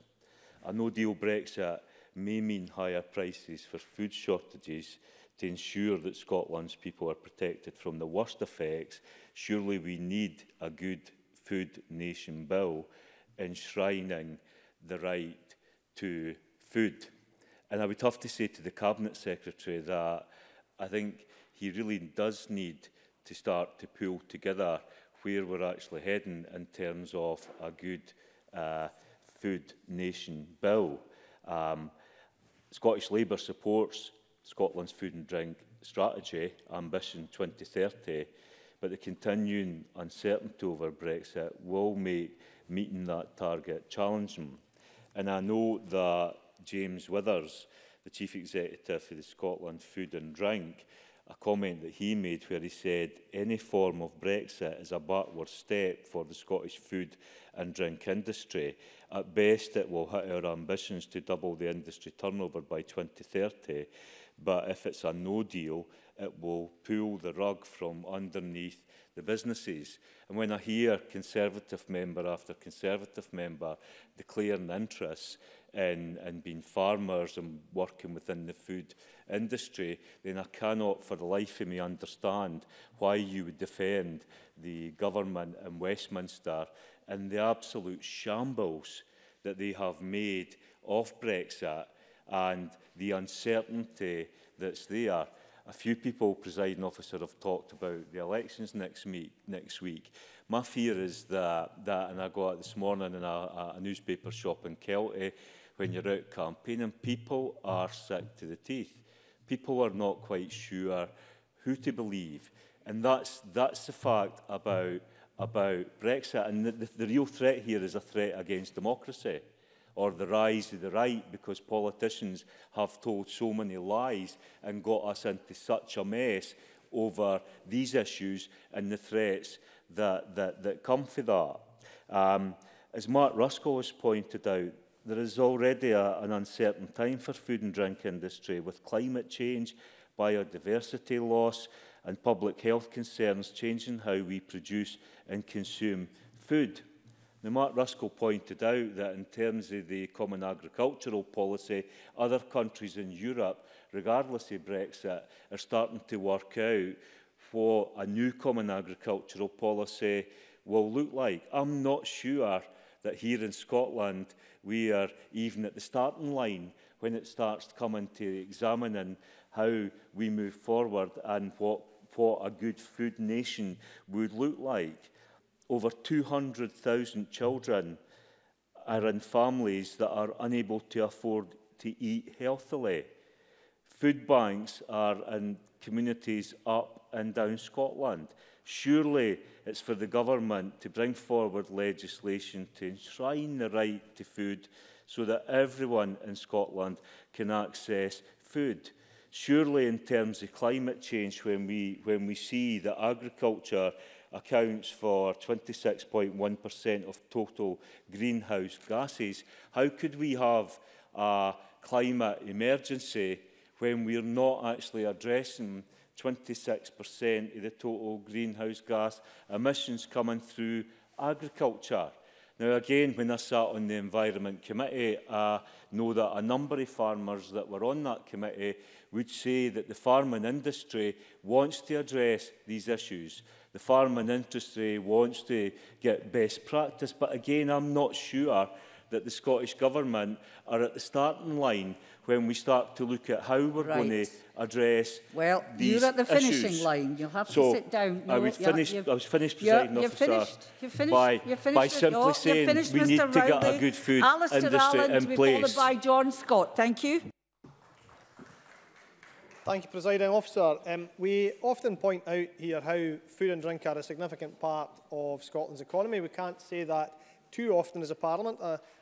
uh, we need to keep saying it until the point is more widely understood. So, like other members, I will shamelessly mention examples of all this from my own constituency. In the Helen and the Near, the food and drink sector accounts for £18 million in gross value added to the island's economy. In many ways, the industry is closely related, of course, to the tourism sector in the Outer Hebrides, which itself uh, was worth approximately £53 million pounds in 2013 uh, and has almost certainly grown considerably since then. Stormy Black Pudding and Harris Gin are, of course, among the best-known island products. Harris is soon to produce both whisky and beer too. Lewis and soon North Uist also have their own small distilleries, Uh, the Western Isles are famous for salmon, seafood, lamb, venison, as well as being home to a biscuit factory and many smaller food enterprises. And behind much of all of this, of course, uh, lies crofting and fishing, making the overall impact uh, of food and drink on the community uh, much wider uh, than I've mentioned. Now, there are uh, many challenges which the food and drink industry faces, not least of these being, and uh, I'm sorry to have to mention this word so early on in the conversation, Brexit. the industry nationally has assessed that leaving the EU without a deal will result in the loss of £2 billion in sales annually, an assessment that was based on the UK government's own economic projections. Moreover, the industry ha has said that businesses have already invested millions of pounds in time and money trying to mitigate and minimise the consequences of leaving without a deal. Now, even if the Prime Minister's bad deal were to go through, however, we would still be leaving the EU without any of the benefits for the food and drink industry that the EU single market provide. The shellfish industry in particular needs that market and has to be able to get live shellfish very quickly from the Outer Hebrides to Spain without waiting at international borders. Island seafood exporters already face enough obstacles as it is, in getting their produce to continental markets in time. And the very last thing they need uh, is the addition of further barriers to trade caused by Brexit. I should also say that non-tariff barriers are also a concern to the salmon industry. And I would have serious concerns if Brexit has any effect on the diligent workforce that presently staffs much of our fish processing industry. Uh, of these uh, workforce, uh, the majority or many are from other European countries, largely coming from Poland, Lithuania and Latvia, so demonstrating uh, the dependence of the sector on its European workforce. Any moves to, to limit migration have the potential to seriously harm our rural and remote communities and will have a major impact on the future success of the food and drink industry. I want to mention a couple of things that have come up in the debate that I feel are, are, are relevant to, to the industry uh, as, as it would, um, as it would uh, practice or would operate in, in the islands. Firstly, when it comes to the Green Amendment, I do understand the, the motivations that, that lie behind it, um, but I would merely ask the movers of that amendment to understand that asking crofters in my constituency to move from livestock to arable uh, is no small ask, uh, and indeed, uh, with only 8% of, of Scotland's landmass really suitable commercially for, for arable farming. Uh, I, I would respectfully suggest that that, that is uh, quite a tall order um, uh, nationally to achieve that. And, and specifically on one other issue that, that's come up uh, in the last few days, uh, I would uh, mention the fact that uh, there is at least one other European member state who has shown a bit more uh, interest uh, in its farming community, uh, and that is namely Ireland, uh, who have uh, offered uh, in the last few days 50 million euros by way of apology for the, the mess that Britain has caused with Brexit. I, I look forward uh, to the United Kingdom government offering a similar apology to our farmers and crofters here. Finally, as, as an EU member state, um, the UK participates in the EU's uh, approach to uh, protected GIs, and uh, many others have, have uh, mentioned uh, the uh, geographic indicators as an important feature. Uh, I could list all the ones that apply to the Western Isles, I won't, and others have mentioned the ones that apply elsewhere. Uh, I understand the Scottish Government has written to the UK Government on a number of occasions over the past year, spelling out the vital importance of these protected names.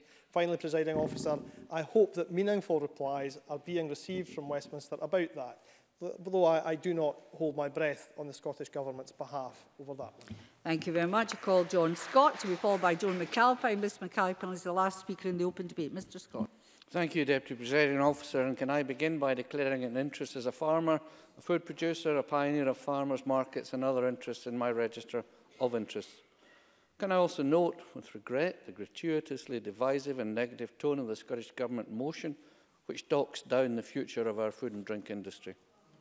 That Fergus Ewing's motion does so needlessly is a surprise to me, because Mr Ewing is not an unreasonable man and is an arch pragmatist, and he well knows that many of the concerns he and his SNP colleagues have raised today are within his and their grasp to resolve, but he and they choose not to do so. And by this I mean that the many fears he raises over the, a no-deal Brexit could be resolved by voting for the Brexit deal negotiated by the UK government with the UK. No. Time after time, we hear SNP MPs, led by Ian Blackford, but driven by the First Minister, dismiss the UK government's proposed deal with the EU without ever offering any credible alternative. And Bruce Crawford reinforced this attitude again today. And so we know that the Scottish Government is not serious, perhaps in a moment, about wanting to help create a solution to the many potential problems highlighted today by this SNP government, as we on these benches realise, and certainly rural Scotland fully understands, that the SNP want to sow only divisions and discord with a view to using Brexit to break up the United Kingdom. Mr Ewing. Cabinet Secretary. Well, President Officer, I've always respected Mr Scott's uh, knowledge and appreciation and support for Scottish agriculture and I will continue to do so. Uh, but could I just point out that we have previously uh, put forward alternative proposals for a Brexit deal, although we don't think that's the preferred deal. And we did so more than two years ago uh, uh, in setting forward an option which was ignored at the time. And we simply do believe profoundly that, that, that Brexit is not the best way ahead in Scotland. But I do agree that with Mr Scott that you know, I prefer debates to be in a reasonable, constructive fashion. And I just thought it useful to reiterate that now. Uh, Mr Scott, I'll give you I, I thank back. Mr Ewing for his intervention. And he, uh, coming from Turnberry and area as I do, he will remember Bruce's um, strictures to if at first you don't succeed, try again. Perhaps because, presiding officer, the people who really matter in today's debate, the farmers, the processors, the retailers, the tens of thousands of people who have to live in the real world and whose jobs are at stake, have all backed the UK government negotiated deal. The National Farmers Union of Scotland has backed the deal. The Scotch Whisky Association has backed the deal. The Scottish Chamber of Commerce has backed the deal, as well as individual companies such as Diageo. Scottish fishermen back the deal. Scottish salmon producers do not want a no-deal Brexit, as apparently almost advocated today by the SNP. And history will remember and judge this SNP government's unwillingness to compromise and their unwillingness to work with the UK government to find solutions or offer meaningful ways of improving and sustaining the UK government's negotiating position within Europe.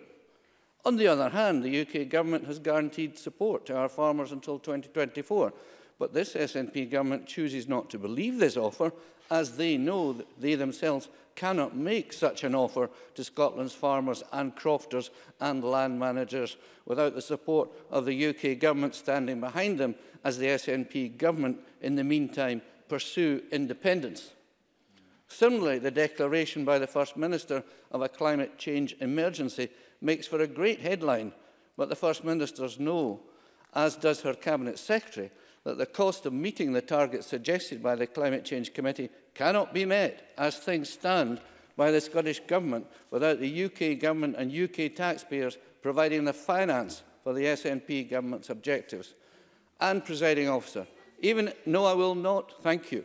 And, presiding officer, even if the SNP Government refused to see or offer anything positive in this debate, Scottish Conservatives know how important the views of our food and drink experts ports are and will remain in Scotland. With over 60% of our exports already going to the rest of the UK, that market will remain and grow unless the SNP government deliberately sets out to make it harder to access. Our food and drink exports will continue to grow, particularly our whisky exports. And again, the UK government has delivered practical financial support to this industry by freezing the duty on spirits at the last budget. On the other hand, the actions of this SNP government are driving many producers, particularly red meat producers, to the wall and reducing the amount of basic produce available to our food processors to come even close to the food and drink industry 2030 targets using homegrown primary produce. Failing IT systems, rewilding of Scotland's landscapes, a determination that farmers and landowners should be portrayed as not pulling their weight in the efforts to reduce climate change without making any effort to recognise the contribution they make, all sends signals of discouragement to an industry that under this SNP government is becoming less profitable and daily more indebted to high street banks. So, presiding officer,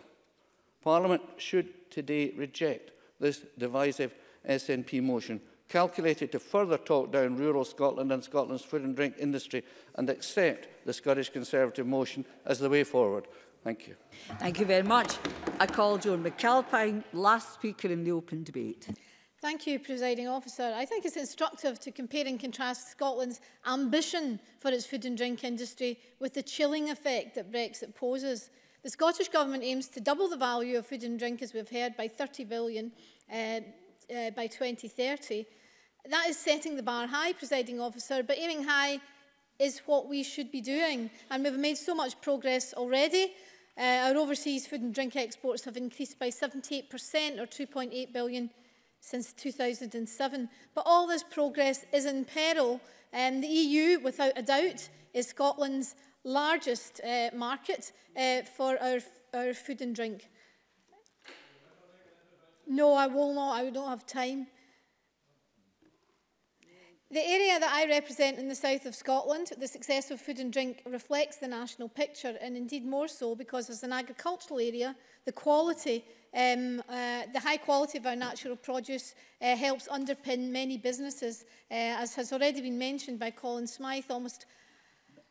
Half or 48% of Scotland's dairy herd, for example, is in Dumfries and Galloway, and almost one in every four cattle in the whole of Scotland can be found in the region.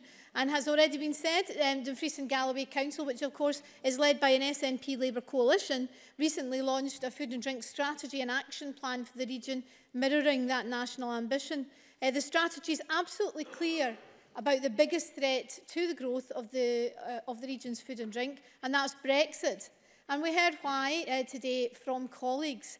Um, access to labour, geographical indicators, just-in-time production, uh, trade barriers. Uh, but I wanted to focus on uh, one, one thing that my committee has been looking at recently, which is causing me particular concern, and that is the effect of future trade deals on the food and drink sector uh, in this country. Um, we know that future trade deals, particularly with America, could result in a diminution of uh, standards in terms of our food and drink uh, industry and lead to the flooding of the market with uh, uh, poor quality products. Uh, but international trade experts giving evidence to the Parliament's Culture, Tourism, Europe and External Relations Committee have made it clear that consultation at every level of government and across all sectors is absolutely essential uh, in order to reach a, a, a suitable agreed negotiating position which will protect uh, economic sectors like food and drink that have a strong geographical footprint. I, they're, they're important to some areas of the country uh, more so than others. Uh, the UK government has still not outlined how they are going to include the devolved administrations in determining trade priorities. And the, the record isn't good on this. In March, a unilateral decision was taken by the Department of International Trade in Westminster to unilaterally drop tariffs in certain key sectors of uh, the economy in the event of a no deal. And this was ostensibly to ensure that we, we kept supplies coming in. Uh, for clarity, though, what it meant is that imports would not face tariffs, but our producers uh, exporting would still face tariffs. Now, the UK government uh, said that uh, the sectors that they chose for this liberalisation were chosen because they were not considered to be vital areas of the economy. But one of the areas affected was the dairy industry, an industry of huge importance, as I have said, to the southwest of Scotland. Now, currently, EU most favoured nation dairy tariffs are on average 72.3%, and in the event of a no-deal scenario, The UK government is proposing to drop that to 0%, but of course we have absolutely no guarantee that the EU will reciprocate. Um, when we took evidence, uh, Dimitri Gozobrinsky, a former Australian WTO trade negotiator, told the committee it's entirely possible that without adequate consultation and feed-in, dairy was just not considered important enough uh, to be included.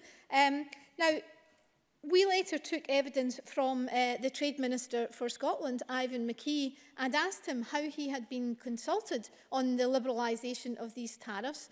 And he told us that the night before the decision was announced, he was pulled out of a, a dinner with his officials up on Carlton Hill, and a voice down the line from Westminster explained that you know these uh, tariffs were this announcement was going to be made the next day. Um, that is the level of respect and the level of consultation that the UK government shows the Scottish government and indeed shows vital areas of our economy like the dairy industry. Um, now, if that is the way they intend to proceed uh, in the future, Uh, I have very, very great um, uh, misgivings, uh, not just for the dairy sector, not just for the food and drink sector,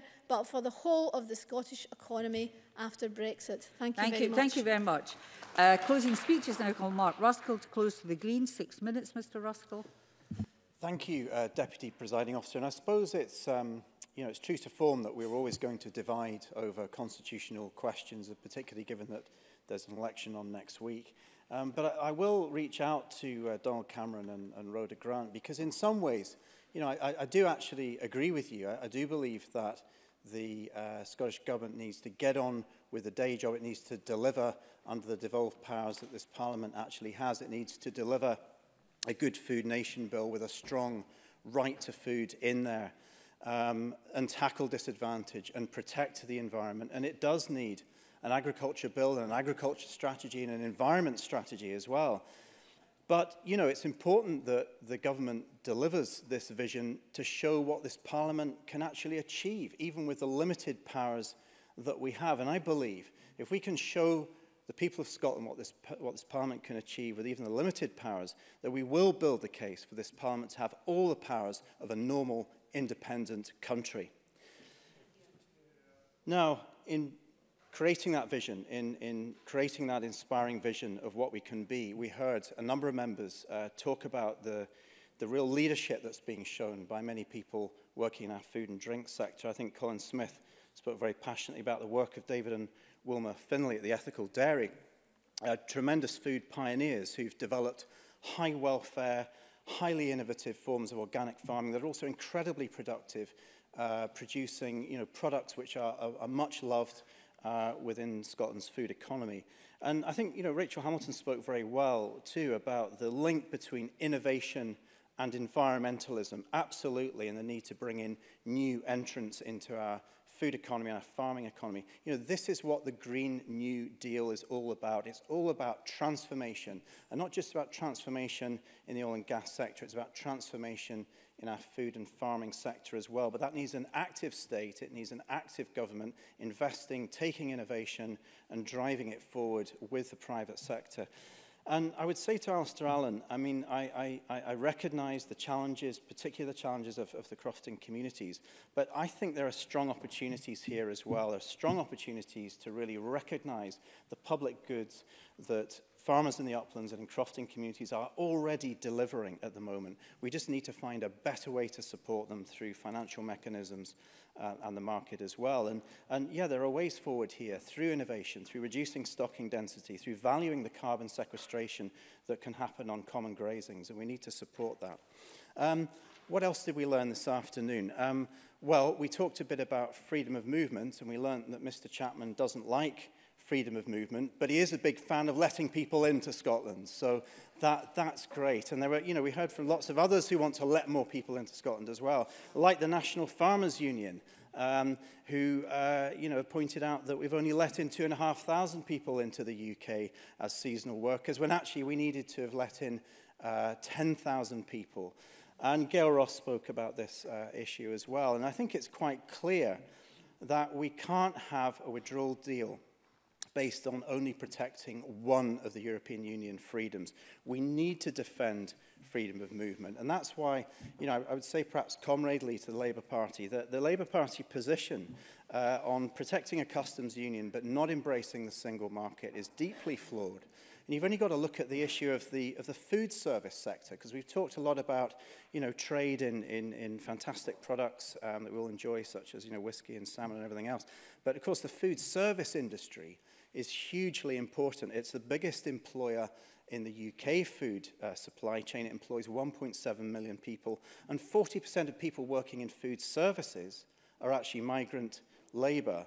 And, uh, you know, this was a, a, a point also highlighted by the Cabinet Secretary and Alistair Allen in relation to seafood, but I think also Alec Rowley raised you know, the, the, this, this, this image of, you know, food rotting in the fields, ungathered, at the same time as hungry children are having to wait outside of food banks in Fife. It's an utter disgrace. It's an utter disgrace. Um, I think then that we need to ensure that Scotland remains an attractive place to welcome European Union citizens. And I was very uh, proud recently to work with uh, my friend Bruce Crawford and Ben McPherson in organising a meeting in Stirling where we really threw open the doors to European Union citizens. We had over 60 people uh, come along from widely different backgrounds, uh, talking about their experiences now, talking about just how hard it is to get settled status, the kind of the, the fact that you have to prove who you are, where, you be, where you've been living. You have to prove your worth. You have to prove your citizenship. It's disgraceful. And this is no way to treat people. It's a hostile immigration policy. And what, what, what worried me Uh, many things worried me at that event, but what, what worried me, particularly in the context of this debate, is speaking to people who are working in the food industry, who are now thinking about voting with their feet and leaving this country. And I think that's absolutely disgraceful. We should be defending their rights all the way.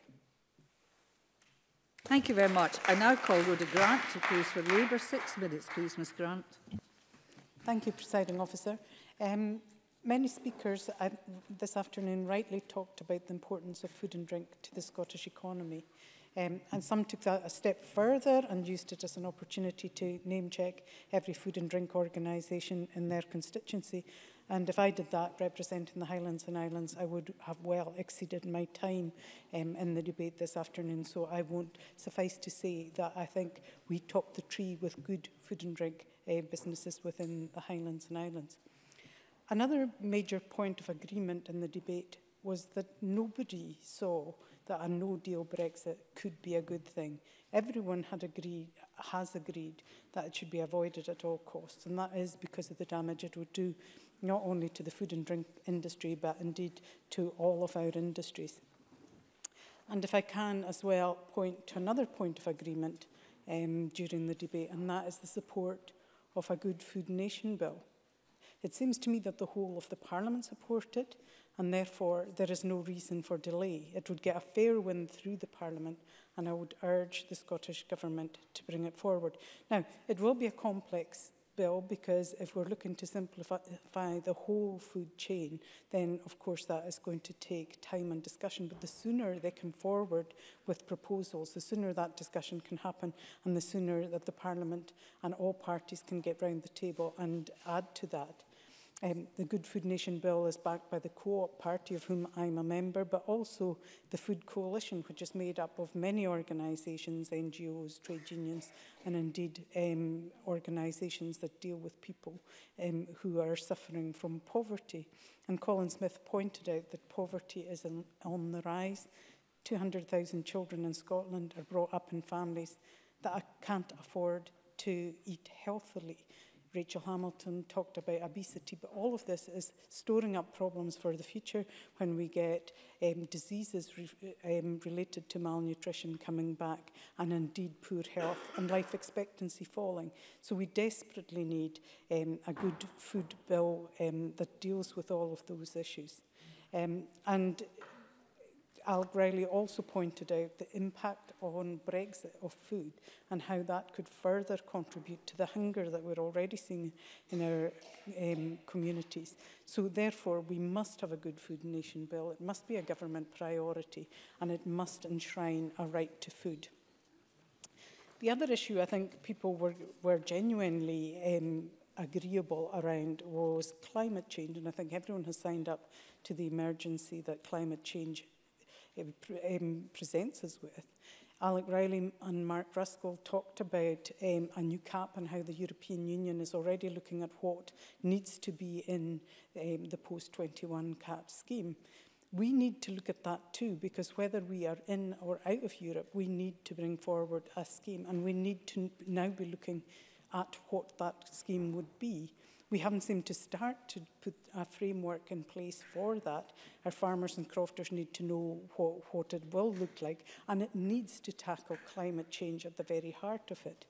Um, and as Alec Riley pointed out, the new scheme has to be linked up to a Good Food Nation Bill because the two things work hand in hand if we're going to deal with climate change and food poverty.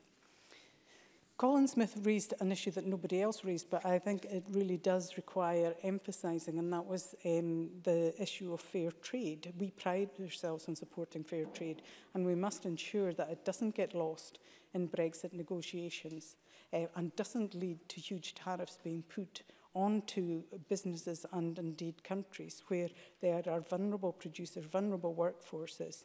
And we need to make sure that while we are concerned for ourselves and the dangers that we face ahead, we must never forget to protect those that are weaker than ourselves in that situation. A number of speakers, um, Colin Smith, Gail Ross, Bruce Crawford, um, talked about PGI, and this is an issue close to my heart, having campaigned for a long time over that protection for Stornoway black pudding. And I certainly wouldn't want to see that watered down in any way. So any deal has to look at the protections we already have. And if we're trading with the European Union, that those protections exist throughout um, the union and indeed further afield if need be to protect our excellence um, in producing food. A number of speakers also spoke about workforce issues and there are several concerns. There's concerns, obviously, about migrant workers coming in um, for the farming industry, and indeed berry picking is a big issue. Um, and they need reassurance on that because people need to know if they are going to plant a crop, is it going to rot in the ground or are they going to have the workforce um, to, to harvest it? But also there are issues. Um, our fishing community talk about um, coming out of the common fisheries policy uh, and how that's going to provide um, huge opportunity. But we don't have people to process that fish. And unless we invest in those that workforce and make sure that that is in place, whether it, and you know, speaking to fishermen in Shetland, they're telling me that there is no capacity in Shetland to do that processing. We need to look elsewhere within Scotland because that is an opportunity for us um, that we should not miss if Brexit happens.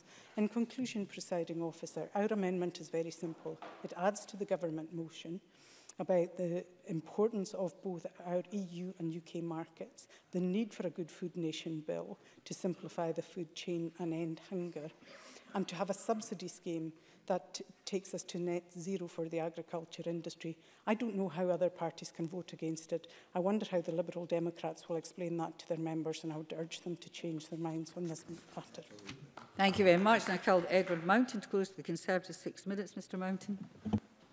Thank you, uh, Presiding Officer, and I welcome today's debate uh, as I believe it's given us on the benches over here another opportunity to say how much we support Scotland's food and drink sector. We do have a vision to ensure Scotland's food and drink goes on to achieve more of a success than it is already, a vision that we published in our new approach to Scottish farming document some months ago. But I say this, I believe it's time we had some vision from this SNP government. Mm. But to me, it's been sorely lacking. And as the Cabinet Secretary knows, promises are often easily made, but more difficult to deliver. Where is the Good Food Nation that was promised back in May 2017? Where is the Scottish Agriculture Bill that was talked about over two months ago? Cabinet Secretary, they're nowhere to be seen. They're not even in your programme for government. It's no wonder that the farming and food expert are beginning to lose confidence in this government. And I don't need to remind the Cabinet Secretary it was Johnny Hall, the Director of Policy for NFUS, that stated only last week that in many senses there is no vision from the Scottish Government in terms of where it wants to be. I couldn't agree more. I agree with him and I agree with the farmers in the countryside if we are to grow our food and drink industry so that it is worth the 30 billion that we all aspire it to be by 2030, we need to ensure that the government has ambitions to match the ambitions of farmers and fishermen and producers across all of Scotland. So, Cabinet Secretary, I'm calling on you in my closing speech to stop dithering and start delivering. And that point was made by Donald Cameron and Peter Chapman both who highlighted that the common fisheries policy has been bad for Scotland and there was plenty of opportunities once we get out of it. They highlighted the fact that Scotch whisky is clearly supportive of a deal and an exit deal that's been put forward. And they reiterated the statement that the Scottish Government lacked vision and that is what was being said in the fields across Scotland. I'm afraid I'm very pushed for time and I, I may get an opportunity later. I believe, as does Peter Chapman, that farmers are optimists and they always look to grasp opportunities and they have the highest standards of production, which is indeed what makes us and all food producers in Scotland world leaders. And Rachel Hamilton made the point that CAP doesn't deliver. It hasn't. And I agree with her that it would be much more beneficial to bring farms to the classrooms to ensure that our children and the future generations, I'm afraid I'm quite short of time, and, and I'll see if I can in a minute when I come to your uh, party's contributions. I believe that we should bring farms to the classrooms so that our future generations are educated. And I also agree with her that we should be more, using more of Scottish produce in our schools. It's a subject this benches have hammered home on every possible occasion. But still, we are taking chicken from Thailand. That's not good enough. And I also agree with John Scott and the points that he made that it is clear that the UK government does have a vision, uh, a vision that sees support going through in its current state till 2024. This Scottish government hasn't made that point. Now, I want to try and pick a point where I agree with the Cabinet Secretary on. I don't always agree with him, but here is a point I agree on, that it is the farmers who make our countryside worth visiting. It is their hard work and their success in shaping the countryside and shaping the environment that we should be proud of. And I just asked the Cabinet Secretary, which I pity that I haven't heard anything about today, was why he's not prepared to see a schedule in the UK Agriculture Bill to support our farmers. Now, I also heard from Bruce Crawford how he recognised the importance of a no-deal Brexit being not good for farmers. I agree. And I also agree with him, as did Michael Gove yesterday, who stated that PGIs are very important. And Michael Gove actually did say yesterday he didn't see that there was any chance that that would be changed. Um, I, I, I will on that point to a committee member. Now my rumbles. The, I've now got the official report of the committee just come through on my phone, so I've read it out, his, what Michael Gove actually said about a no deal. He said, oh, the UK could get through the initial turbulence that no deal would cause. Do you agree with him? Edward Mountain. Oh. Do, you, do you know, there's nothing like making an in intervention late, Mr Rumbles. The intervention I thought you were making on was PGIs, which is what we were discussing at the moment, which is what's important. And as far as a no-deal Brexit, I've made my position clear that I believe that we should have a deal and we should work hard to make it. And it's up to every single party in the UK Parliament to compromise and to find compromise and to work together. Now, I also believe that it was a pity when we were discussing this this afternoon that so much of people's speeches were not directed directly at farmers. And because my time is short, I want to pick up on a couple of points that Mr. Ruskell made, which I think were very important. And I think we should never, ever forget that farmers are doing an excellent job in the environment. And we need to recognise what they're doing and we need to encourage them to do more. And I agree with him, this government needs to get on with the day job. Now, presiding officer, because time is short, having a vision, I believe, is easy. Implementing that vision is where it gets hard, and it's proving too hard for this government. And I don't believe it's good enough for the, for the farmers. We need a good food nation bill, and we need a government that will work forward to work out what's going to happen to farming, not next year or the year after, but in 10 years' time. And we need to work together to help that industry, an industry I believe I know well, an industry that thrives with innovation and hard work. Let's see the Cabinet Secretary and his government rise to the standards that they set on innovation and hard work. Currently, at the moment, they don't. Thank you, Mr Mountain. And I close in Colin Fergus Ewing to close for the Government Cabinet Secretary till decision time, please. Well, thank you, uh, Presiding Officer. There have been some, some very good contributions to this debate and, and I think some, some other ones. Um, um, I think there is a majority consensus that the prospect of a no-deal will be devastating for the food and farming industry and the wider food and drink sector. I think there is a consensus about that. Um, And, you know, I, I do think that Mr. Rumble set out the arguments very clearly and cogently. And the figure that he quoted of the impact of Brexit of £2,000 million loss is, as I understand it, not a Liberal Democrat SNP figure. It's based on UK government's own modelling. And actually, in discussions with Cabinet Secretary, sorry, I know that you're being polite, but could you speak to the microphone, please? Yes, of Thank course. You very much.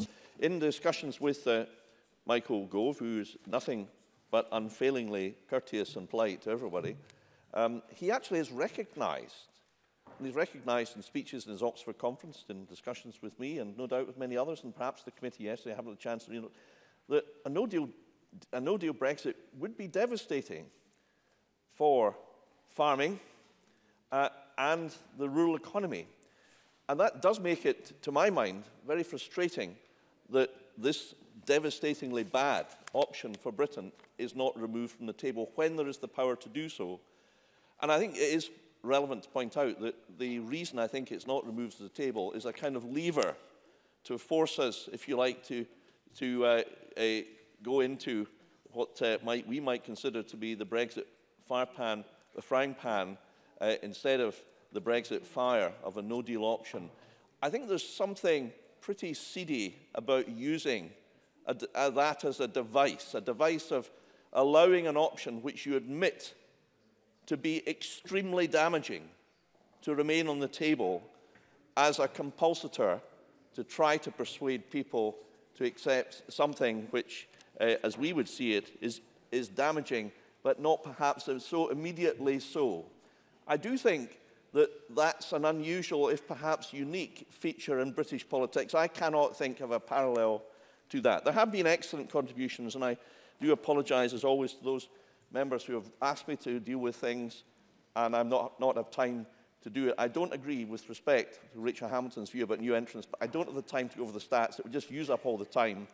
I will write to Rachel Hamilton setting out the facts which show that Scotland, we've helped hundreds of, of young people as new entrants. I will set out the statistics and also point out that we've had a better... Well, I'm, I'm very sorry, I just don't have time to do justice to everybody.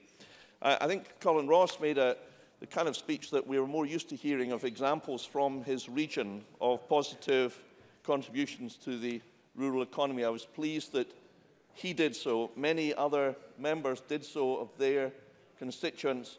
Uh, and uh, I also think Mr Rusko made a very telling argument in his closing speech about the importance of freedom of movement. I entirely agree with Mr. Ruskell.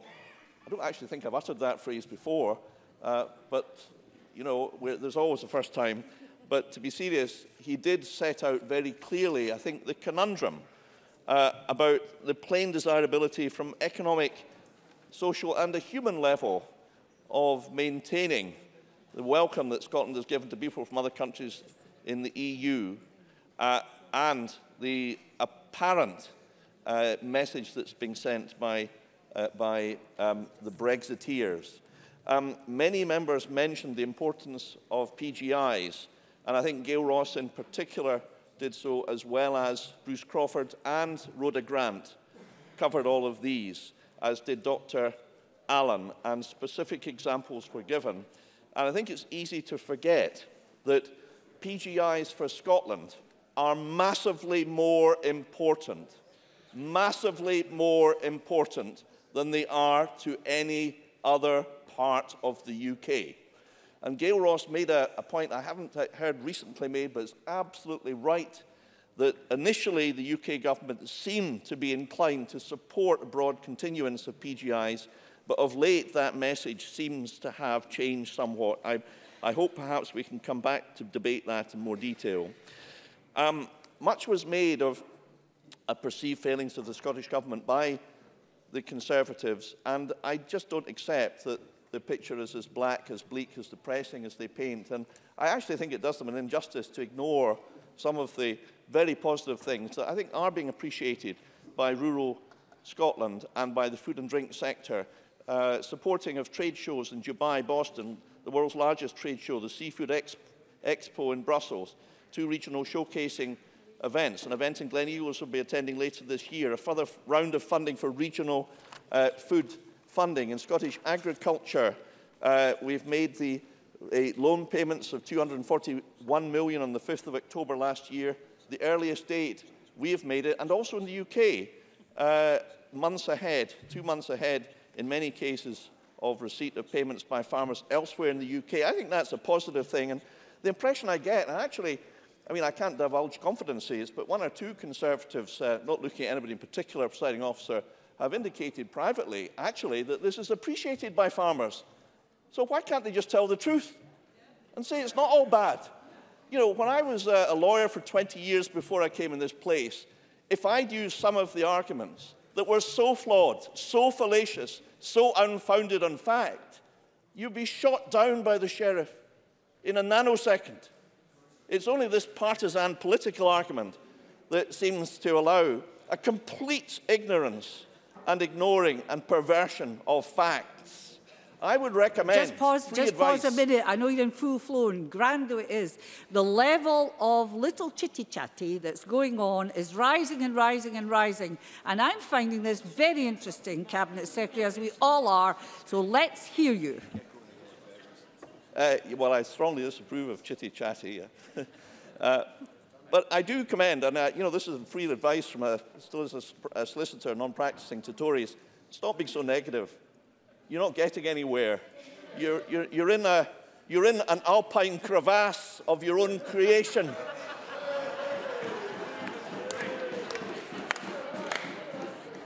What's happening is you're in the crevasse. There's no rescue team. You're freezing to death. Your political prospects are frozen over. the Scottish Tories have discovered political permafrost.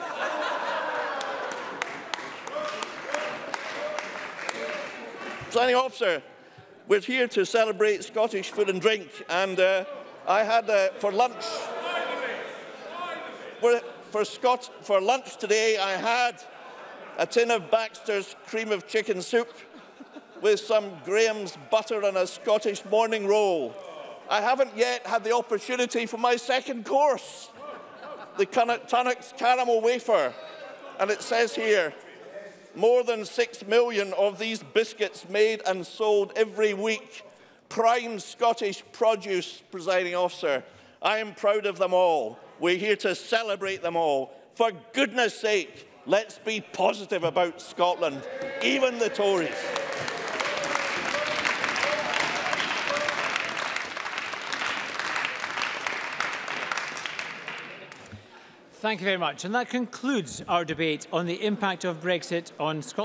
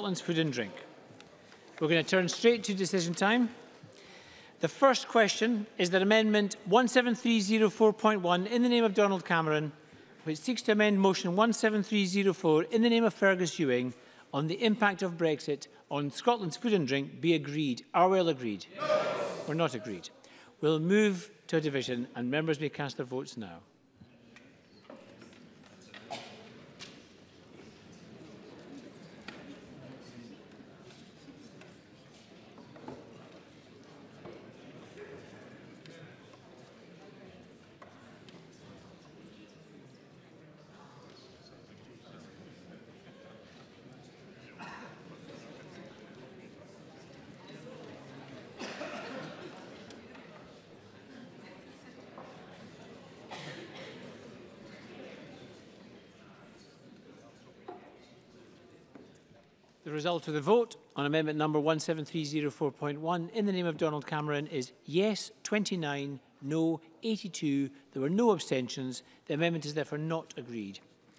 The next question is that amendment 17304.2 in the name of Rhoda Grant, which seeks to amend the motion in the name of Fergus Ewing, be agreed.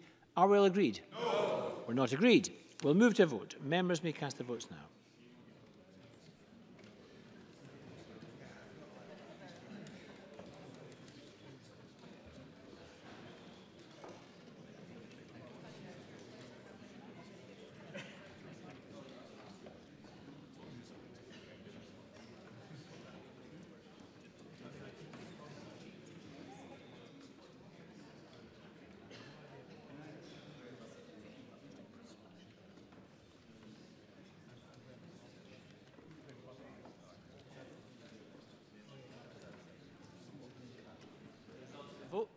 on amendment number 17304.2 in the name of Rhoda Grant is yes 14, no 97. There were no abstentions.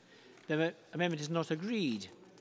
The next question is the amendment 17304.3 in the name of Mark Ruskell, which seeks to amend the motion in the name of Fergus Ewing be agreed. Are we all agreed? No. We're not agreed. We'll move to a vote. Members may vote now.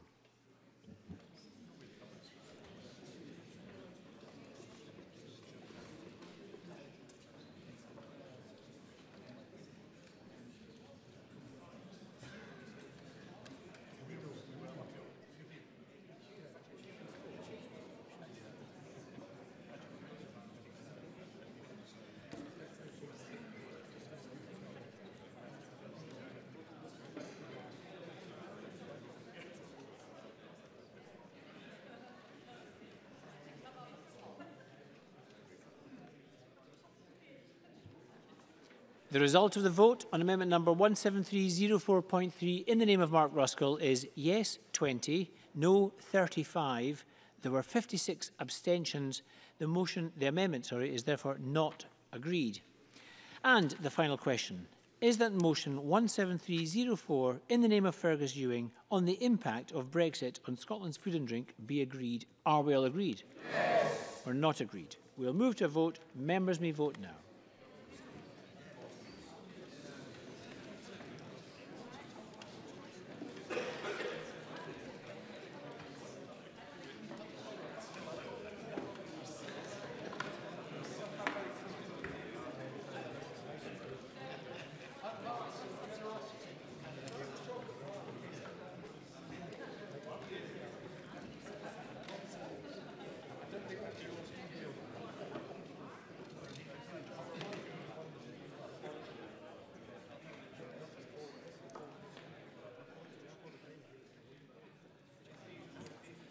result of the vote on motion 17304 in the name of Fergus Ewing is yes 76, no 29. There were six abstentions. The motion is therefore agreed. And that concludes decision time. I close this meeting.